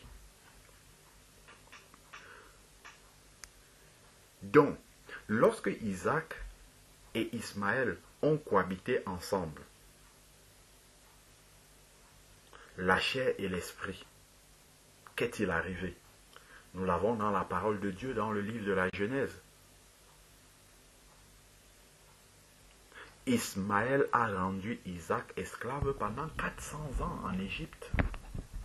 Alors que Jacob était entré avec son peuple dans la paix, mais euh, avec Joseph qui était euh, le, premier ministre de, de l'Égypte, ils sont entrés dans la paix, mais après, ils ont fini esclaves pendant 400 ans. Mais de même, Lorsque nous sommes nés de nouveau par l'Esprit, si nous continuons à vivre selon la chair, nous allons demeurer esclaves de la chair comme les Israélites étaient esclaves en Égypte pendant très longtemps. Dont Ismaël et Isaac ensemble, l'un, l'aîné, va rendre l'autre prisonnier. Donc si on marche par la chair et par l'esprit, en fait, on sera toujours esclave de la chair. Donc nous avons vu là que la naissance d'Isaac, qui préfigure la nouvelle naissance, est également une représentation, c'est également une préfiguration de la naissance de l'État d'Israël. Également. Donc, c'est également une représentation de la naissance de l'État d'Israël. Nous avons vu que la signification même du nom Isaac, c'était Yitzhak en hébreu, ce qui signifie il rit, risible. Comme Sarai d'ailleurs a confessé, quand Isaac est né, on a vu dans Genèse, elle, elle a dit quelque chose. Regardons. Genèse chapitre 21. Elle va confesser une parole, Sarai, la mère d'Isaac, et elle a même mis ça sur l'éternel. Elle dit ici, Genèse chapitre 21, verset 6. C'est alors que Sarah dit, Dieu a fait de moi la risée des gens, dont on rira de moi. Quiconque l'apprendra rira à mon sujet. Qui aurait dit à Abraham que Sarai allaiterait des enfants? Cependant, je lui ai donné un fils dans sa vieillesse. Elle, elle dit que ça, ça serait un sujet de raillerie, un sujet de rire. De même, c'était, il était risible, il y a quelques siècles en arrière, de croire qu'un État d'Israël pouvait être créé en Palestine, occupé par d'autres peuples, désertiques et tout, il était impensable. Il y a eu près de 17 tentatives de création d'un État juif ailleurs qu'en Palestine qui ont échoué par la Société des Nations. Ils ont essayé de caser les Juifs dans un endroit pour appeler ça leur pays. Ça n'a jamais marché. Isaac n'est pas né selon la volonté de la chair, mais né de Dieu. Autant marqué, Dieu a créé souverainement l'État d'Israël tel qu'il est là-bas contre la volonté des hommes. Et Dieu le préserve en existant jusqu'à présent. Donc de même, il était impensable, risible même. Dans Genèse chapitre 21, on l'a déjà lu du verset 1 au verset 4, Isaac, il est né au temps fixé par Dieu. De la même manière, Israël est né, le pays, l'État d'Israël est né au temps fixé par Dieu, 14 mai 1948. 2000 ans plus tard, Dieu a dit, cette nation-là revient. Et là, les prophéties ont commencé depuis la création de l'État d'Israël à s'enchaîner. Là, on court vers la fin. On est à la fin des fins. Là, de l'accomplissement des prophéties. Dieu l'avait dit. Regardons Jérémie. Jérémie chapitre 30, verset. Jérémie 30, verset 3.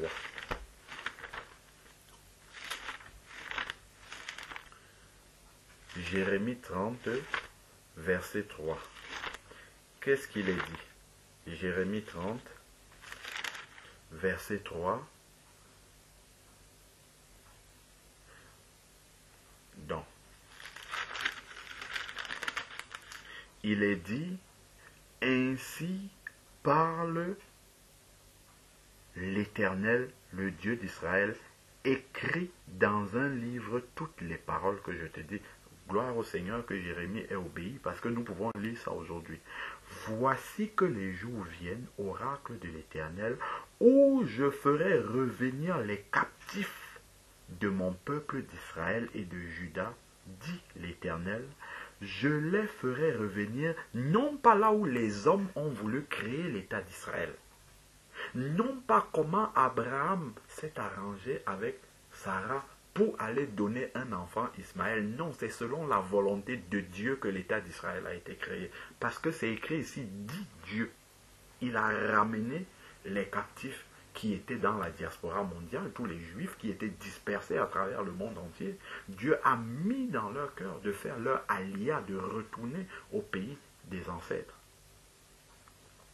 Je les ferai revenir dans le pays que j'ai donné à leur père, et ils en prendront possession. Donc c'est Dieu qui a fait la promesse du retour des captifs en Israël pour recréer cet état-là. De la même manière que Dieu a promis la venue d'Israël, de, Isaac.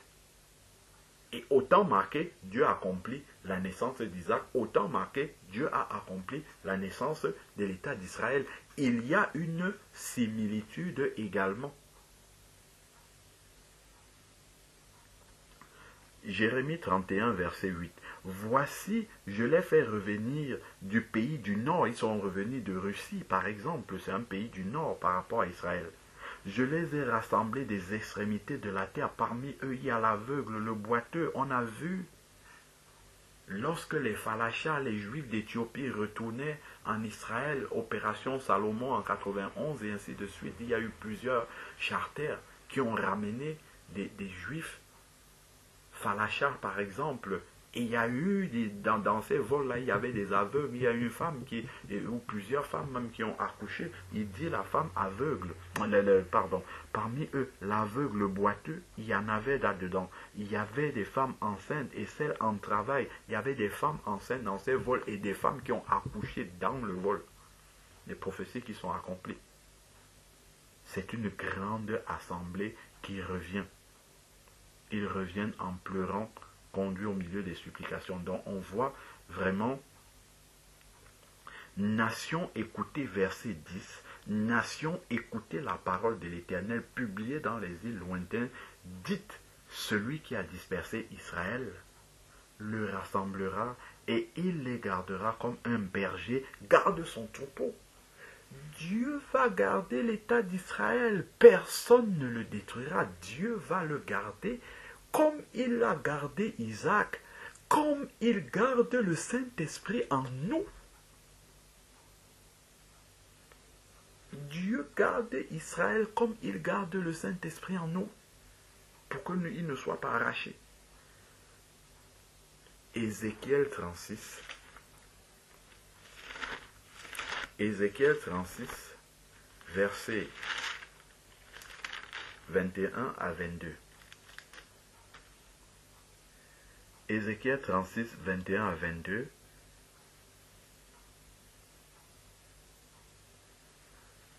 Qu'est-ce qu'il est dit? Non, Ézéchiel 36 plutôt. 24. Euh, euh, euh, Il est dit, Ézéchiel 36, 24, je vous retirerai d'entre les nations. C'est Dieu qui fait cela, comme il le fait pour la nouvelle naissance comme il a fait miraculeusement pour la naissance d'Isaac, il a fait aussi le même, à l'image du miracle de la nouvelle naissance, il a fait l'image de la recréation de la nation d'Israël.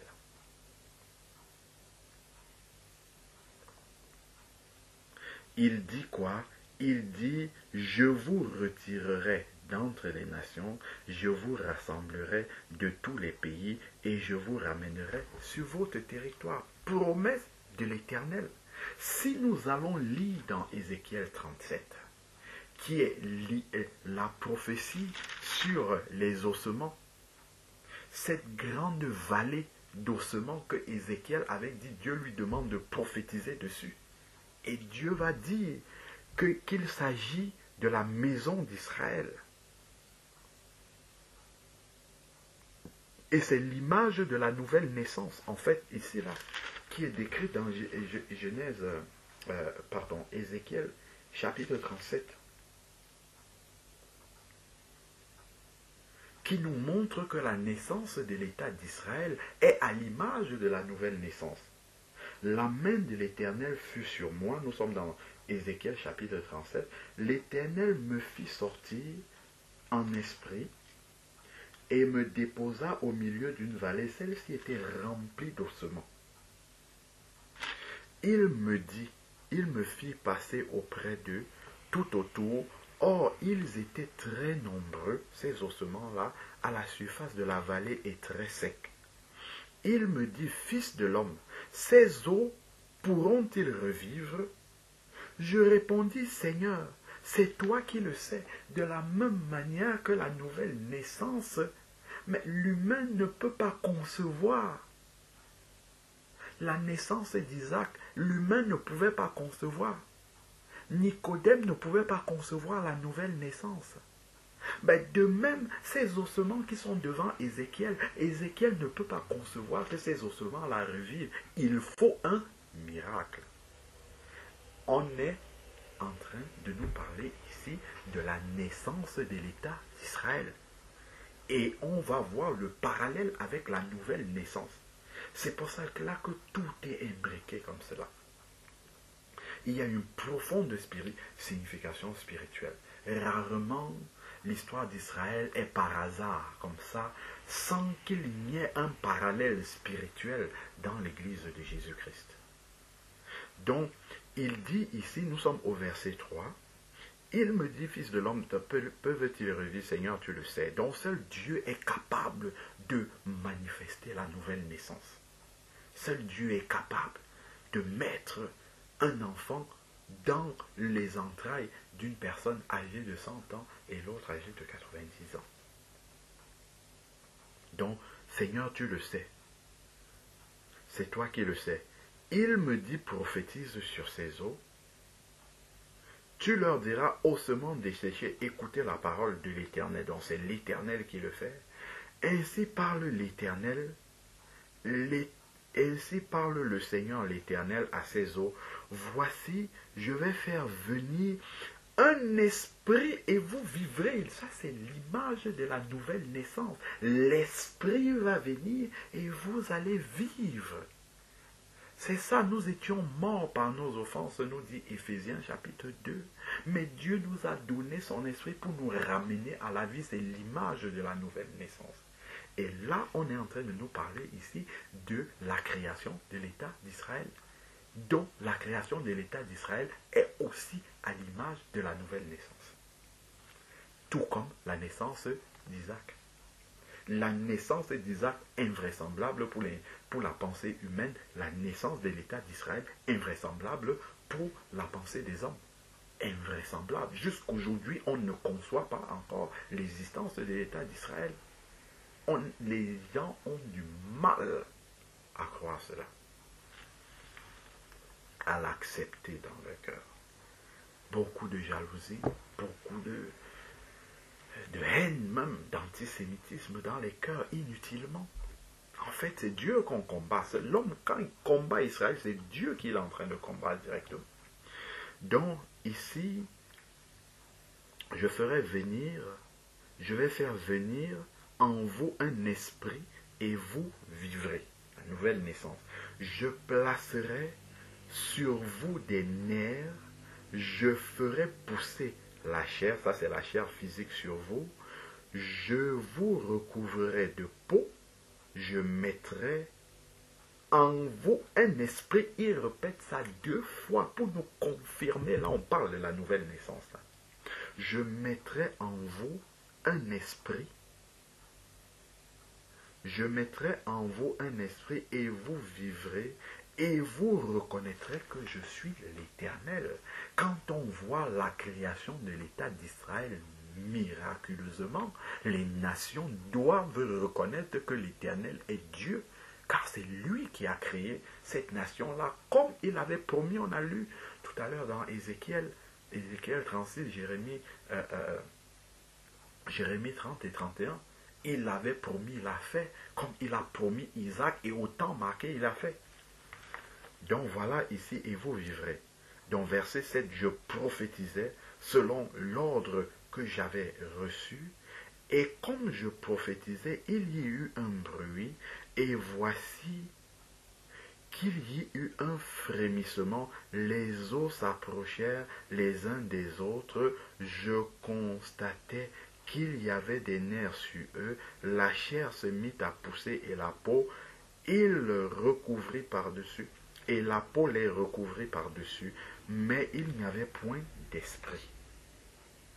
Il me dit, prophétise, parle à l'esprit, prophétise, fils d'homme.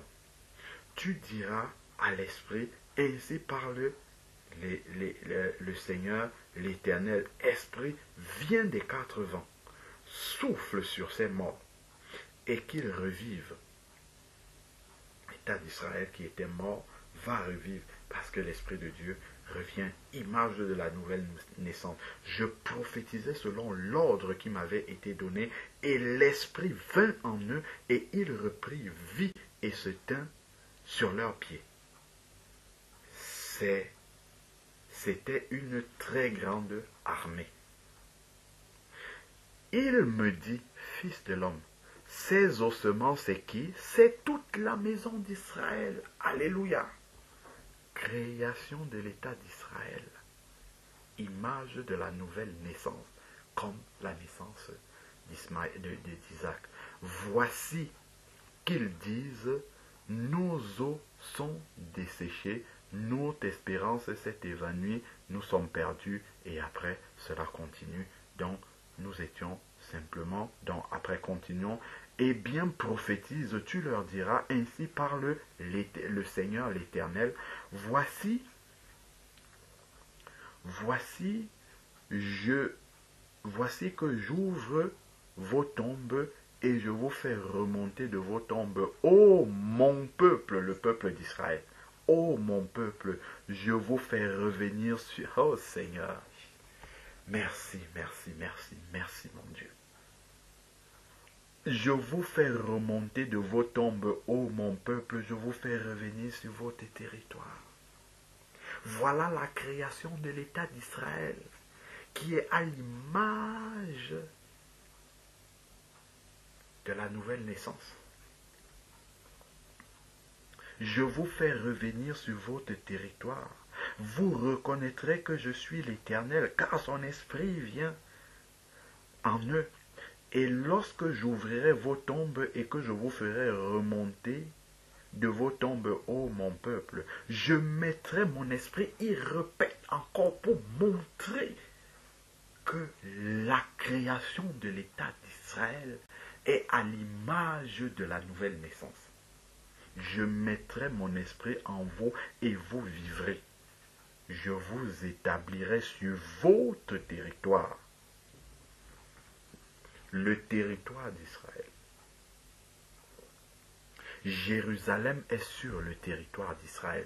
Je vous établirai sur votre territoire.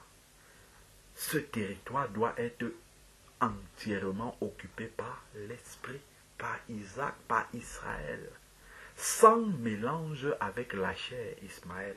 Non, Isaac, autant pour moi, doit occuper tout le territoire. Et vous reconnaîtrez que moi, l'Éternel, j'ai parlé et j'ai agi. Donc voilà comment la Bible nous montre clairement que la création de l'État d'Israël est également à l'image de la nouvelle naissance, telle que la naissance euh, euh, d'Isaac. Que s'est-il passé donc lors de la création de l'État d'Israël? Pratiquement historiquement. Les Anglais avaient le protectorat sur la Palestine.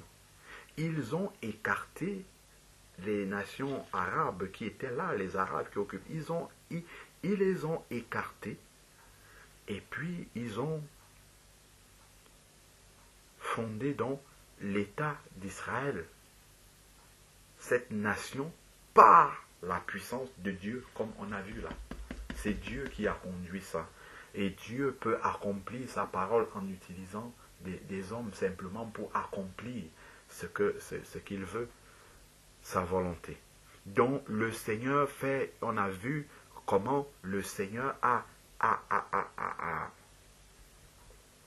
a, prophétisé, a, fait prophétiser Ézéchiel sur les ossements pour nous montrer l'image de la nouvelle naissance. Donc, lorsque la nouvelle naissance se produit, tel que les, Anglais ont reculé les Arabes qui occupaient ce territoire de la Palestine là, pour fonder l'État d'Israël, de la même manière, quand l'Esprit de Dieu vient dans un corps, la chair doit partir, la chair doit s'écarter, la, la, la, chair doit reculer. On peut le voir dans Ézéchiel 36, verset 26. Je vous donnerai un cœur nouveau je mettrai en vous un esprit nouveau. Ça, c'est ce qui se passe lors de la nouvelle naissance. J'ôterai de votre chair le cœur de pierre qui est l'image de la chair. La chair qui nous fait euh, euh, tant demeurer dans la convoitise, dans le péché. J'ôterai le cœur de chair et je vous donnerai un cœur de chair, c'est-à-dire l'esprit, en fait. Et il dit, je mettrai mon esprit en vous et vous suivrez mes prescriptions et vous observerez et pratiquerez mes ordonnances. Donc, quand l'esprit vient, ce qui est chair doit partir, doit libérer pour que l'esprit occupe totalement la place. Donc, que s'est-il passé au lendemain de la création de l'État d'Israël? Qui est à l'image de la nouvelle naissance, n'oublions pas. Que s'est-il passé? Prenons le psaume 83, du verset 1 au verset 9. Psaume 83, on va voir ce qui s'est passé. C'était déjà écrit d'avance. Psaume 83, le psaume 83, psaume 83, Ô Dieu, ne reste pas dans le silence. Ne te tais pas et ne demeure pas tranquille, ô Dieu. Car que tes ennemis s'agitent. Ceux qui te haïssent lèvent la tête. Ils forment contre ton peuple, contre Israël. Ils forment contre ton peuple des projets de ruse. C'est ce qui s'est passé dès le lendemain de la création de l'État d'Israël. Qui est rusé? La chair notre chair est rusée. Après la nouvelle naissance, la chair par ruse essaye de nous détruire. C'est ça que nous voyons là dès le lendemain de la création de l'État d'Israël.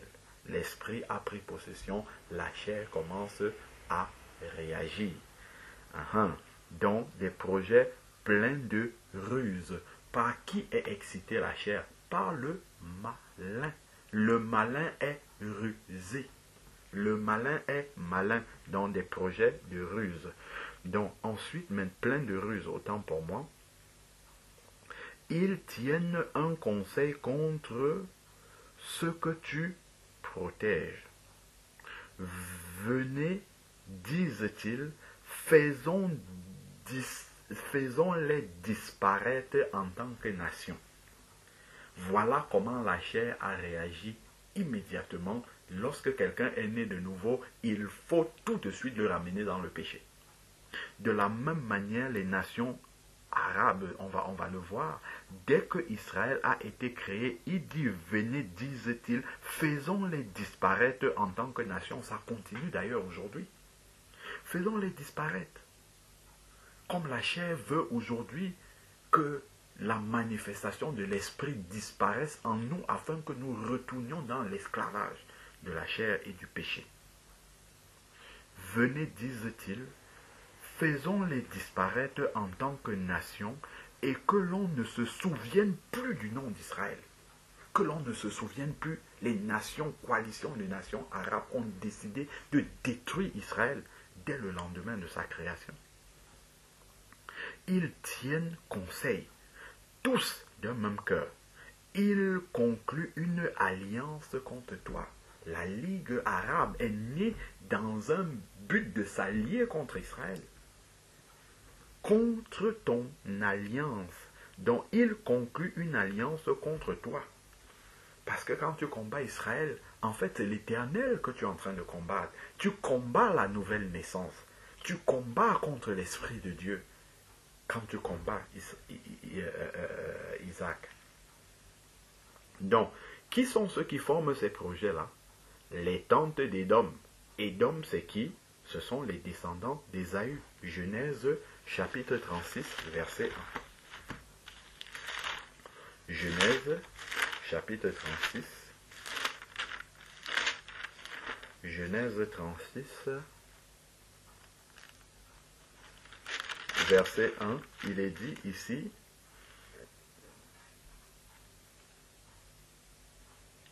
voici la postérité de Ésaü qui est Édom.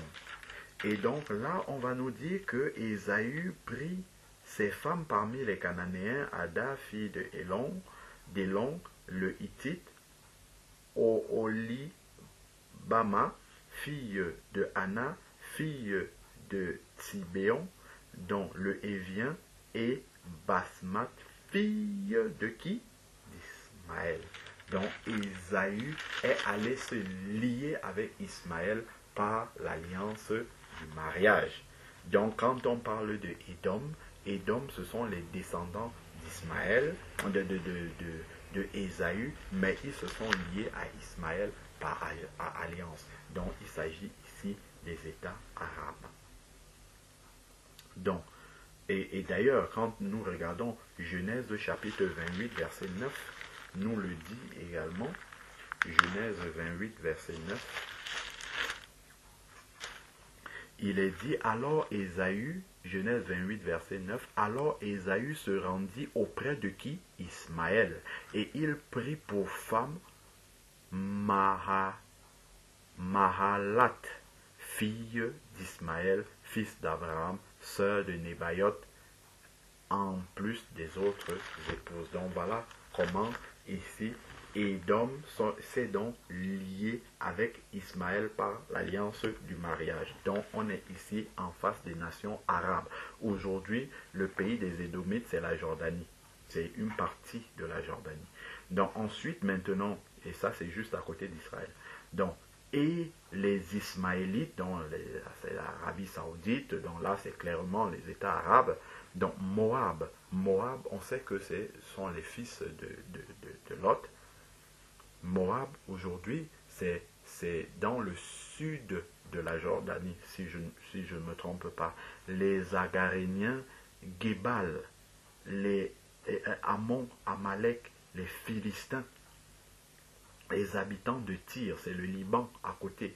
Donc la Syrie s'est joint à eux c'est l'Iran, l'Irak, la Turquie, c'est tout ça mélangé. Donc on voit que c'est une coalition de nations arabes qui prête son bras au fils de Lot, dont euh, euh, Moab et Ammon. Donc c'est voilà cette coalition de nations arabes qui vient pour détruire l'État d'Israël dès sa naissance. Et ça, on l'a observé avec la guerre d'indépendance 1947, la guerre des six jours, en 1967 la guerre du Yom Kippour en 1973, où les coalitions de nations arabes se sont liguées pour venir détruire euh, euh, euh, Israël. Mais Dieu a toujours préservé et combattu comment un petit pays faiblement armé en termes, de, en termes numériques même, peut arriver à battre une coalition aussi nombreuse de nations arabes si ce n'est la main de l'Éternel qui combat avec lui. Et pourquoi Dieu vient-il défendre Israël dans les différentes guerres lorsqu'il est attaqué par les Arabes? Lorsque la chair vient essayer de faire la guerre à l'esprit, Dieu va nous soutenir afin que l'esprit prenne le dessus, toujours.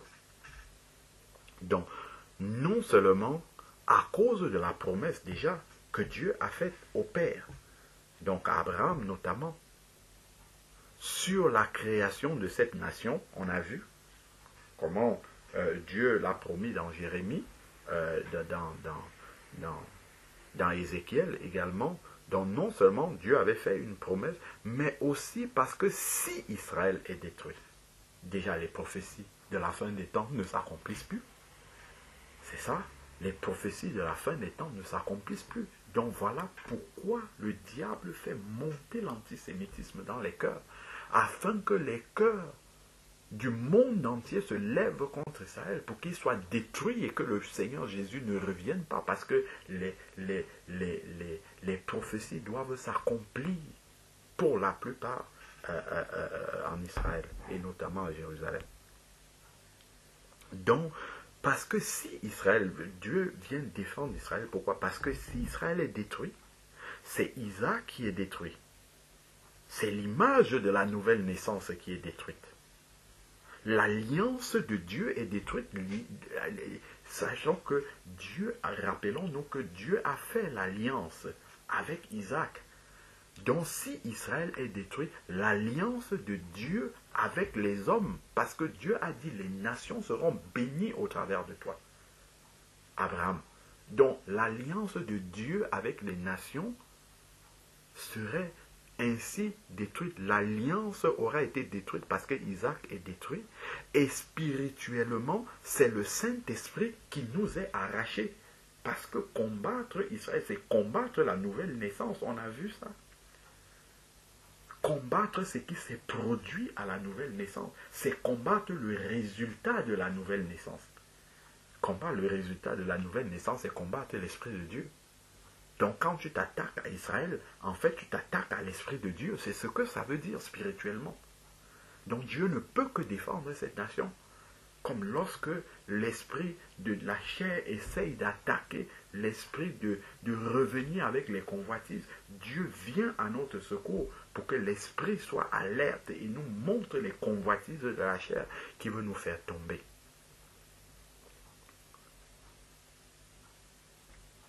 Donc, quand Dieu vient, parce que euh, justement, si, l'esprit est arraché comme ça, anéanti, on, retourne directement, enfin retiré de nous, parce que la chair aura pris le dessus, ben, immédiatement, on va retourner, recommencer à marcher par la chair et accomplir ses désirs. Voilà pourquoi, physiquement, Dieu vient et combat pour Israël euh, euh, euh, et, donne la victoire à Israël. C'est une manière de nous montrer spirituellement que Dieu vient également et fait en sorte que l'Esprit prenne le dessus sur la chair, pour que notre nouvelle naissance ne soit pas annulée, qu'on ne retourne pas dans le monde.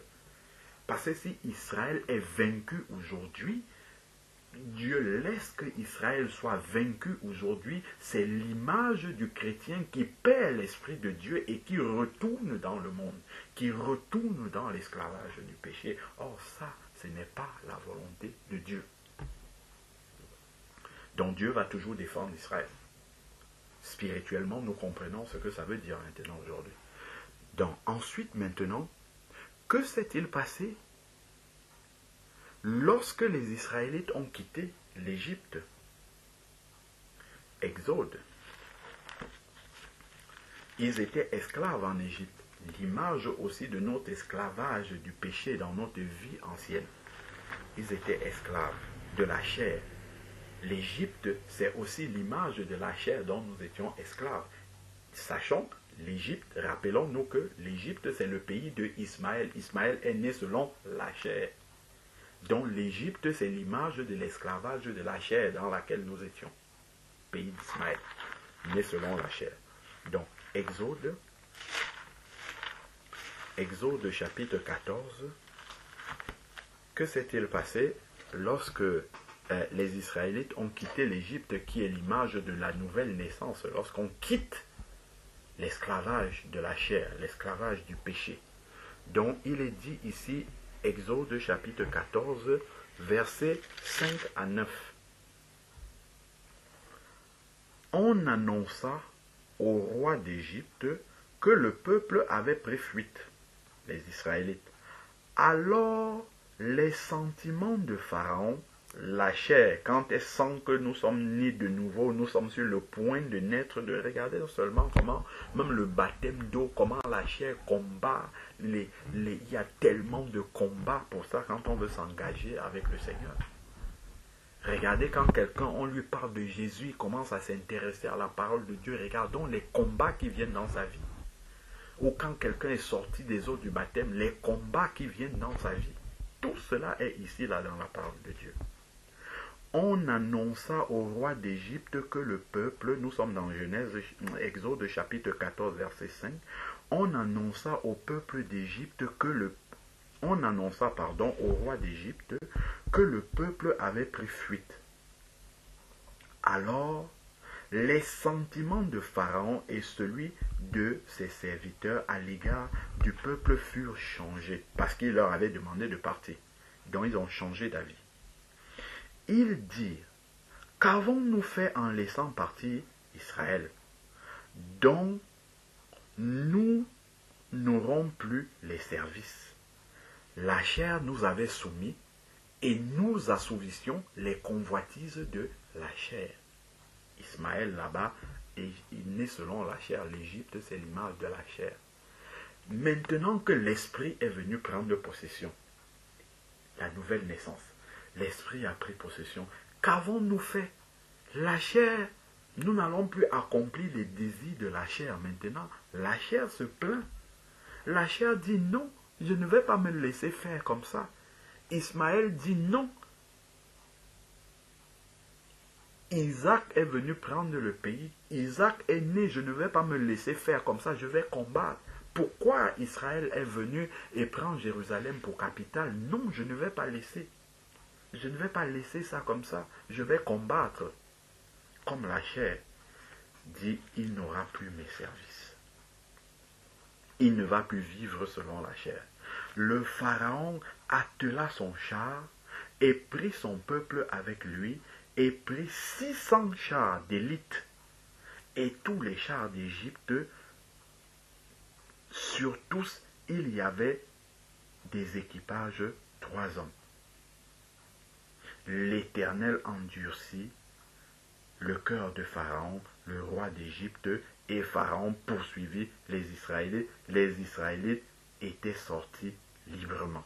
Voilà ce qui se passe lorsque l'Esprit de Dieu vient nous libérer de l'emprise de la chair. La chair commence à combattre maintenant la chair, les passions, les pulsions, tout ça là, ça revient, ton ancienne vie revient, les passions que tu avais dans l'ancienne vie commencent à te combattre, veut te ramener, tu as abandonné la musique du monde, ça revient, tu as abandonné les vêtements indécents, la, passion de ça, ça t'attire encore, tu aimais les femmes, tu as arrêté, tu as décidé de te sanctifier, d'arrêter la fornication, l'adultère, tout ça, ça revient, la guerre, même dans les rêves, tu vois les rêves érotiques, les choses comme ça, les maris de nuit veulent revenir, ainsi de suite la guerre, la chair.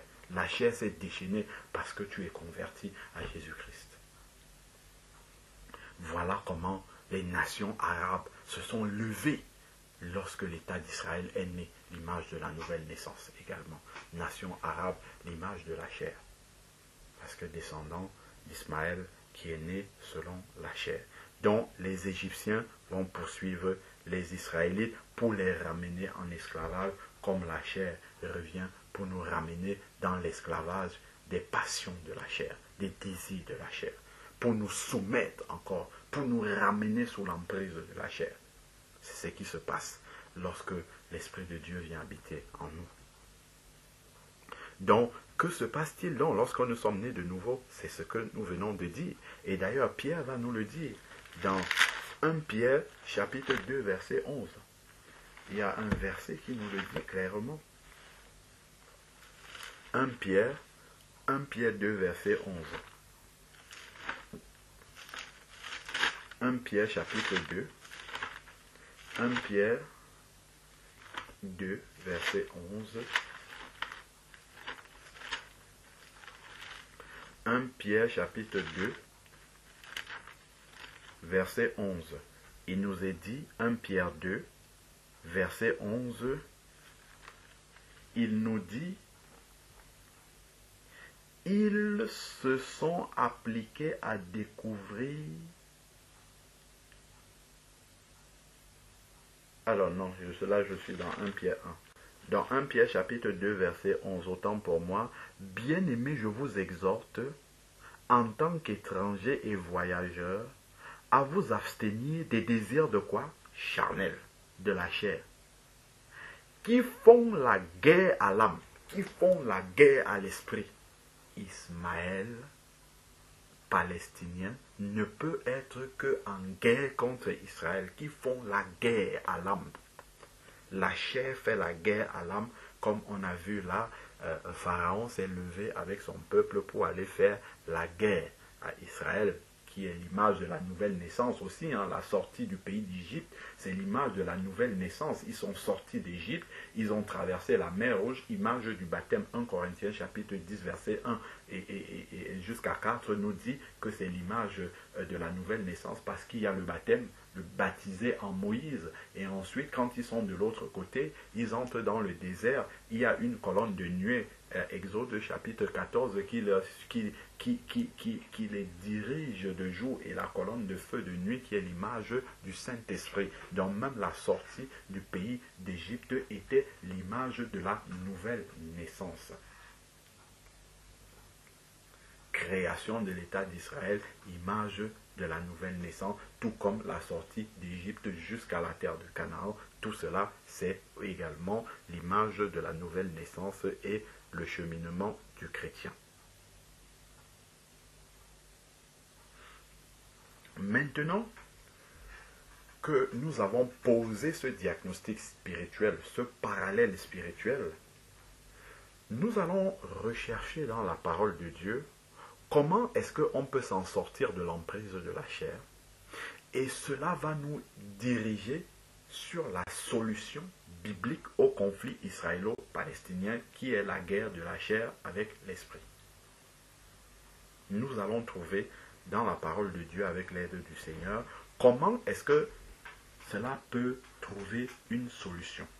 Comment est-ce qu'on peut arriver à une solution de paix? Ça paraît un peu utopique de dire que la paix va être entre l'esprit et la chair. Non.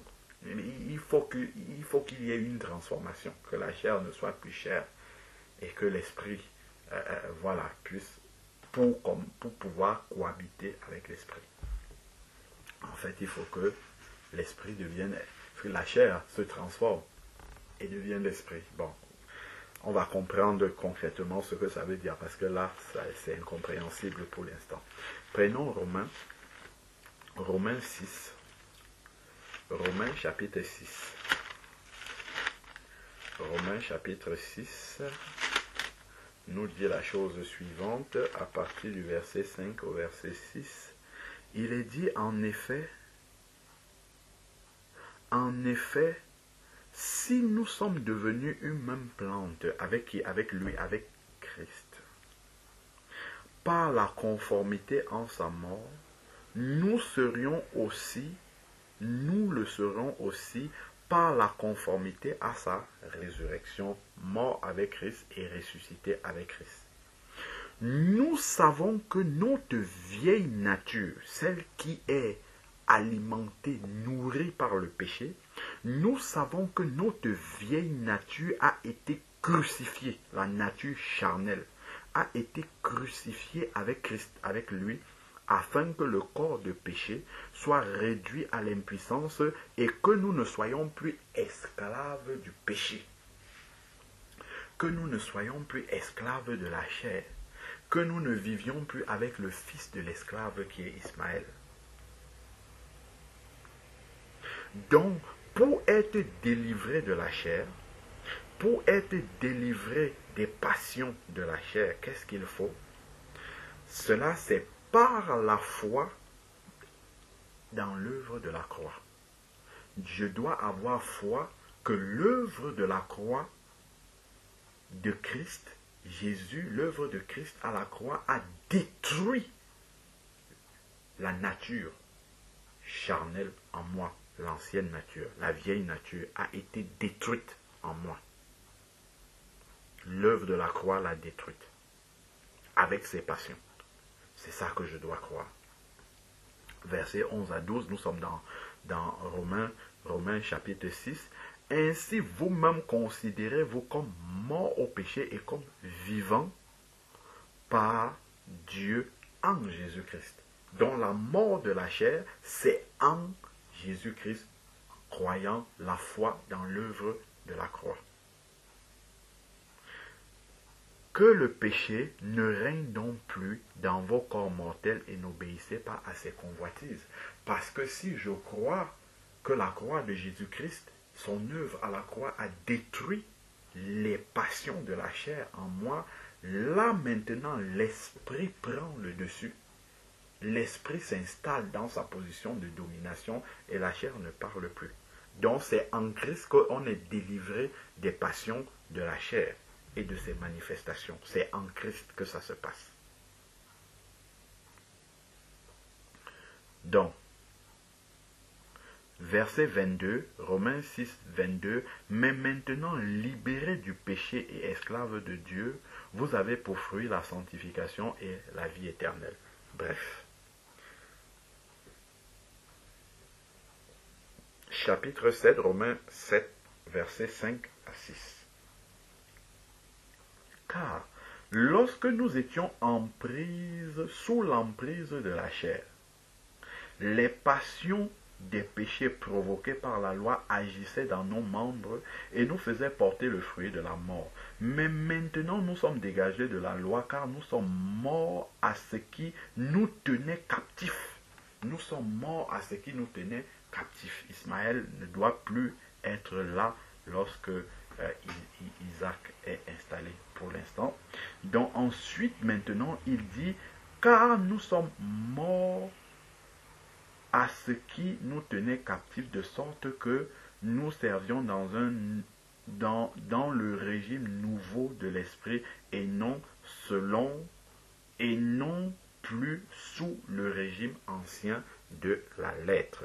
Donc par la foi en Jésus-Christ, nous avons, nous recevons par la foi en Jésus-Christ que notre ancienne nature, notre nature charnelle a été détruite complètement à la croix et donc ne doit plus, n'a plus l'autorité spirituelle de s'exprimer.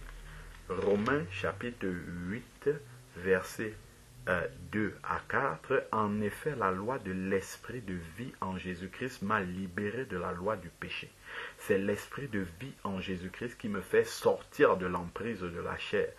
Car chose impossible, car chose impossible à la loi parce que la chair la rendait sans force, Dieu en envoyant à cause du péché son propre Fils dans une chair semblable à celle du péché, a condamné le péché dans la chair. Donc c'est en Jésus-Christ que la chair meurt, est séparée totalement de l'esprit. C'est en Jésus-Christ la foi dans l'œuvre de la croix. Donc par la foi déjà, dans l'œuvre de la croix, on est délivré de la puissance du péché et de ses nuisances en termes de convoitise et autres. Maintenant, concrètement, pratiquement, comment est-ce que cette délivrance définitive deviendra concrète dans nos membres, pratique dans notre corps? Ça va arriver dans 1 Corinthiens chapitre 15 versets 51 à 57. 1 Corinthiens chapitre 15 versets 51 à 57. Qu'est-il dit? Voici, je vous dis un mystère. Nous ne mourrons pas tous, mais nous serons tous changés. Ça a quelque chose à voir avec l'enlèvement nous serons tous changés en un instant, en un clin d'œil, à la dernière trompette, car elle sonnera et les morts ressusciteront comme incorruptibles. C'est la chair qui nous rend corruptibles. Incorruptibles et nous serons changés parce que on doit être changé parce que la chair doit être extirpée de nous au moment de l'enlèvement. Parce que la chair et le sang n'héritent pas du royaume des cieux. C'est ce qui est dit au verset 50. Ce que je vous dis, frère, c'est que la chair et le sang ne peuvent hériter du royaume des cieux. Donc la chair doit rester. C'est au moment de l'enlèvement que la chair sera enlevée. C'est pour ça qu'il dit que nous serons changés. La chair sera séparée définitivement de l'esprit au moment de l'enlèvement. Donc il faut en effet que ce corps corruptible revête l'incorruptibilité, c'est-à-dire qu'il n'y ait plus de traces de chair et que l'esprit soit et prenne complètement toute la place. Et ça, ça ne se fera que lors de l'enlèvement, quand Jésus-Christ reviendra. Tant que Israélien reste Israélien, Palestinien reste Palestinien, la chair reste la chair, l'esprit reste l'esprit, comme ça. Ce n'est que la venue du Seigneur Jésus-Christ qui peut régler ce problème-là. Parce que c'est quand Jésus-Christ reviendra que la chair sera enlevée et que l'esprit va régner totalement en maître complètement. Donc, Israéliens et Palestiniens, tant qu'ils restent dans leur identité propre comme ça, seule la venue de Jésus-Christ peut apporter, va apporter autant pour moi la solution. Donc il faut en effet que le corps, nous sommes au verset 53 de 1 Corinthiens 15, il faut en effet que ce corps corruptible revête l'incorruptibilité. On a expliqué, c'est-à-dire qu'il n'y a plus de chair et que ce corps mortel revête l'immortalité. Lorsque ce corps corruptible aura revêtu l'incorruptibilité, c'est-à-dire qu'il n'y aura plus de chair, l'esprit aura été séparé de la chair, ce, et que ce corps mortel aura revêtu l'immortalité, alors s'accomplira la parole qui est écrite, la mort a été engloutie dans la victoire. Ô mort, où est ta victoire? Ô mort, où est ton aiguillon? L'aiguillon de la mort, c'est quoi? C'est le péché, c'est la chair. Et la puissance du péché, c'est la mort. Mais grâce soit rendue à Dieu qui nous a donné la victoire par Jésus-Christ. Donc la solution du conflit israélo-palestinien, c'est d'être en Jésus-Christ. C'est lui qui est la solution. C'est d'être en Jésus-Christ. Parce que c'est lui qui vient séparer la chair et l'esprit définitivement. De même, il n'y aura pas de paix entre Isaac et Ismaël, entre Israélites et Arabes. Et il y aura, cette paix-là arrivera au moment du retour de Jésus-Christ. Lorsque les deux se convertiront, on avait vu dans l'autre enseignement qu'on aura une conversion massive des musulmans arabes, descendants d'Ismaël. Nous lisons ça dans Ésaïe chapitre 19, versets 20 à 21. Ésaïe 19, versets 20 à 21 nous dit, Ce sera pour l'Éternel des armées un signe et un témoignage dans le pays d'Égypte, le pays d'Ismaël, quand ils crieront à l'Éternel à cause de l'oppresseur. Et il leur enverra un sauveur dont Jésus-Christ, c'est lui qui est la solution, il prendra leur parti pour les délivrer. L'Éternel sera connu des Égyptiens et les Égyptiens connaîtront l'Éternel en ce jour-là. Ils rendront un culte. Ils rendront un culte avec des sacrifices et des offrandes. Ils feront des vœux à l'Éternel et les accompliront. Donc c'est Jésus-Christ qui est la solution pour Ismaël. Ismaël doit se convertir à Jésus-Christ si pour qu'il y ait la paix avec Isaac, avec euh, euh, Israël, il faut que les Palestiniens se convertissent à Jésus-Christ. De même, il faut que les Israélites également se convertissent à Jésus-Christ. Car c'est en Jésus qu'il y a le pardon. C'est en Jésus qu'il y a le partage. C'est en Jésus qu'il y a la fraternité. En dehors de ça, c'est la guerre. C'est en Jésus qu'il y a le renoncement à soi-même. Renoncer à ses propres euh, euh, euh, privilèges pour qu'un autre en bénéficie. Donc, juifs également, israélites, doivent se convertir à Jésus-Christ pour être en paix avec Ismaël, qui lui-même aussi devrait se convertir. Donc, on a Zacharie chapitre 12, versets 8 à 14. Ça, on l'a déjà lu. C'est là que les Juifs se convertiront à la fin. Lorsqu'ils vont reconnaître celui qu'ils ont percé. Zacharie chapitre 12, verset 8.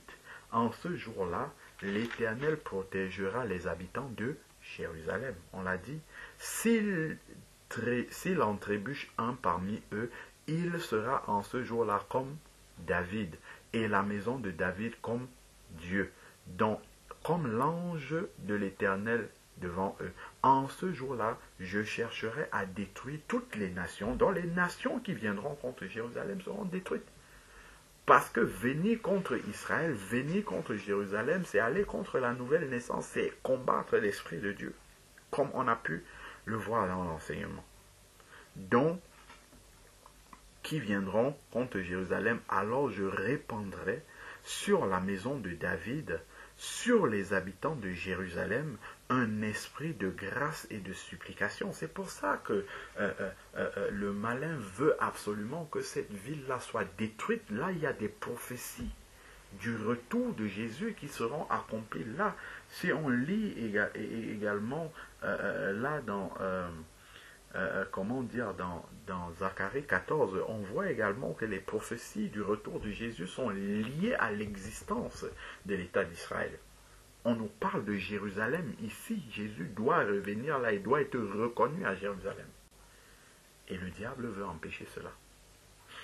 Donc, et sur les habitants de Jérusalem, nous sommes dans Zacharie euh, chapitre 12, verset 10, un esprit de grâce et de supplication. Là, nous sommes dans la naissance nouvelle véritablement de l'État des Juifs le retour de Isaac, la conversion de Isaac à Jésus-Christ qui est la seule solution qui peut apporter la paix et ils tourneront les regards vers moi, celui qu'ils ont percé. Donc ça c'est la conversion à Jésus-Christ et ils porteront le deuil comme on porte le deuil d'un enfant nouveau-né. Ils pleureront amèrement. C'est la repentance nationale d'Israël sur lui aussi amèrement que sur un premier-né.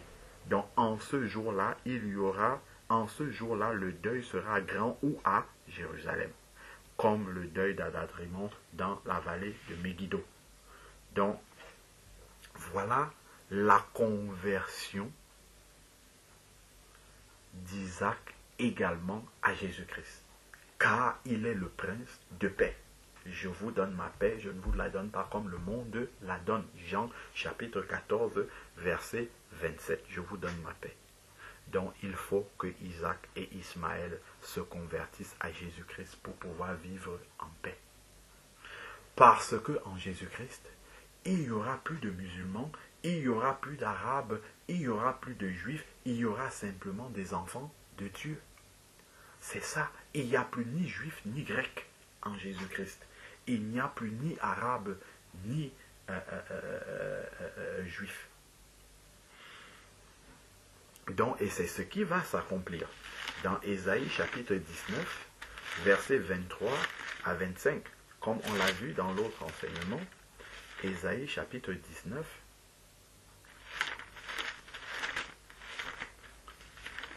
Ésaïe chapitre 19, verset, euh, euh, euh, on a dit verset 23 à 25, en ce jour-là, il y aura une route entre l'Égypte dans le pays d'Ismaël en Assyrie, les Assyriens iront en Égypte et les Égyptiens en, Assyrie. Les, les Égyptiens avec les Assyriens rendront un culte à l'Éternel. En ce jour-là, Israël sera un troisième avec l'Égypte et la Syrie à être une bénédiction pour toute la terre. Verset 25 dit, Et l'Éternel des armées bénira en disant, Béni soit l'Égypte, le pays d'Ismaël, converti donc à Dieu, le véritable à Jésus-Christ, mon peuple, la Syrie, l'œuvre de mes mains, et Israël, mon héritage. C'est en Jésus-Christ que cette fraternité-là devient possible. C'est en Jésus-Christ. Parce que, en Jésus-Christ, selon Galates 3, verset 28, il n'y a plus ni juif, ni grec, ni esclave, ni libre, mais il y a juste des enfants de Dieu.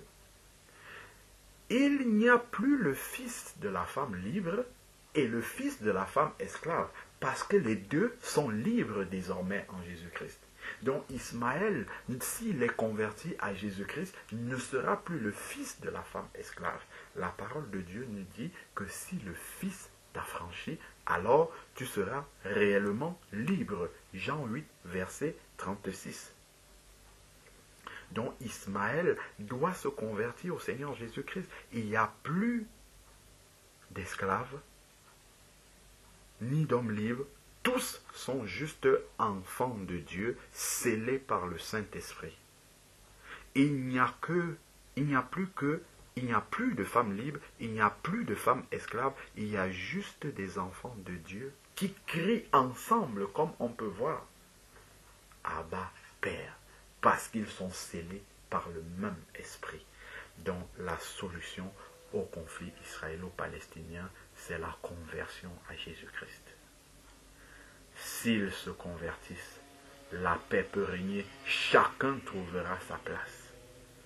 Le renoncement à soi peut être là. Le renoncement à ses intérêts peut être là. Mais s'il n'y a pas la conversion à Jésus-Christ, ça va être la guerre tout le temps. Donc voilà vraiment spirituellement la, la signification spirituelle de ce conflit et la solution biblique à laquelle nous arrivons toujours. Vraiment que le Seigneur ouvre les yeux encore d'Ismaël, ouvre les yeux d'Isaac, qu'ils se tournent tous vers Jésus-Christ, qui est le prince de paix, qui est la solution, que vraiment ils puissent comprendre que seul Jésus-Christ est capable et il est venu aussi pour régler ce problème, pour qu'il n'y ait plus ni juif, ni grec, c'est-à-dire ni palestinien, ni païen, ni nation, que tous ceux qui se convertissent en Jésus-Christ soient un seul peuple, qu'il n'y ait plus esclaves ni livres. Père, nous te bénissons encore et te rendons grâce. Seigneur Dieu, pour ce moment de partage de ta parole. Merci parce que tu nous as instruits encore, Seigneur Père, à comprendre, Seigneur Dieu Tout-Puissant, le parallèle spirituel qui existe entre ce que nous voyons à la télévision, Seigneur Père, de ce qui se déroule dans le conflit israélo-palestinien, Seigneur Père, cette guerre entre l'esprit et la chair. Père, ouvre les yeux de ton Église afin que ton Église puisse intercéder encore. Témoigner à Ismaël pour qu'il se convertisse à Jésus-Christ. Témoigner à Isaac pour qu'il se convertisse à Jésus-Christ. Car la solution est en Christ, le Prince de paix. Seigneur Dieu, nous te bénissons encore. Que toute la gloire te revienne au nom de Jésus-Christ. Amen.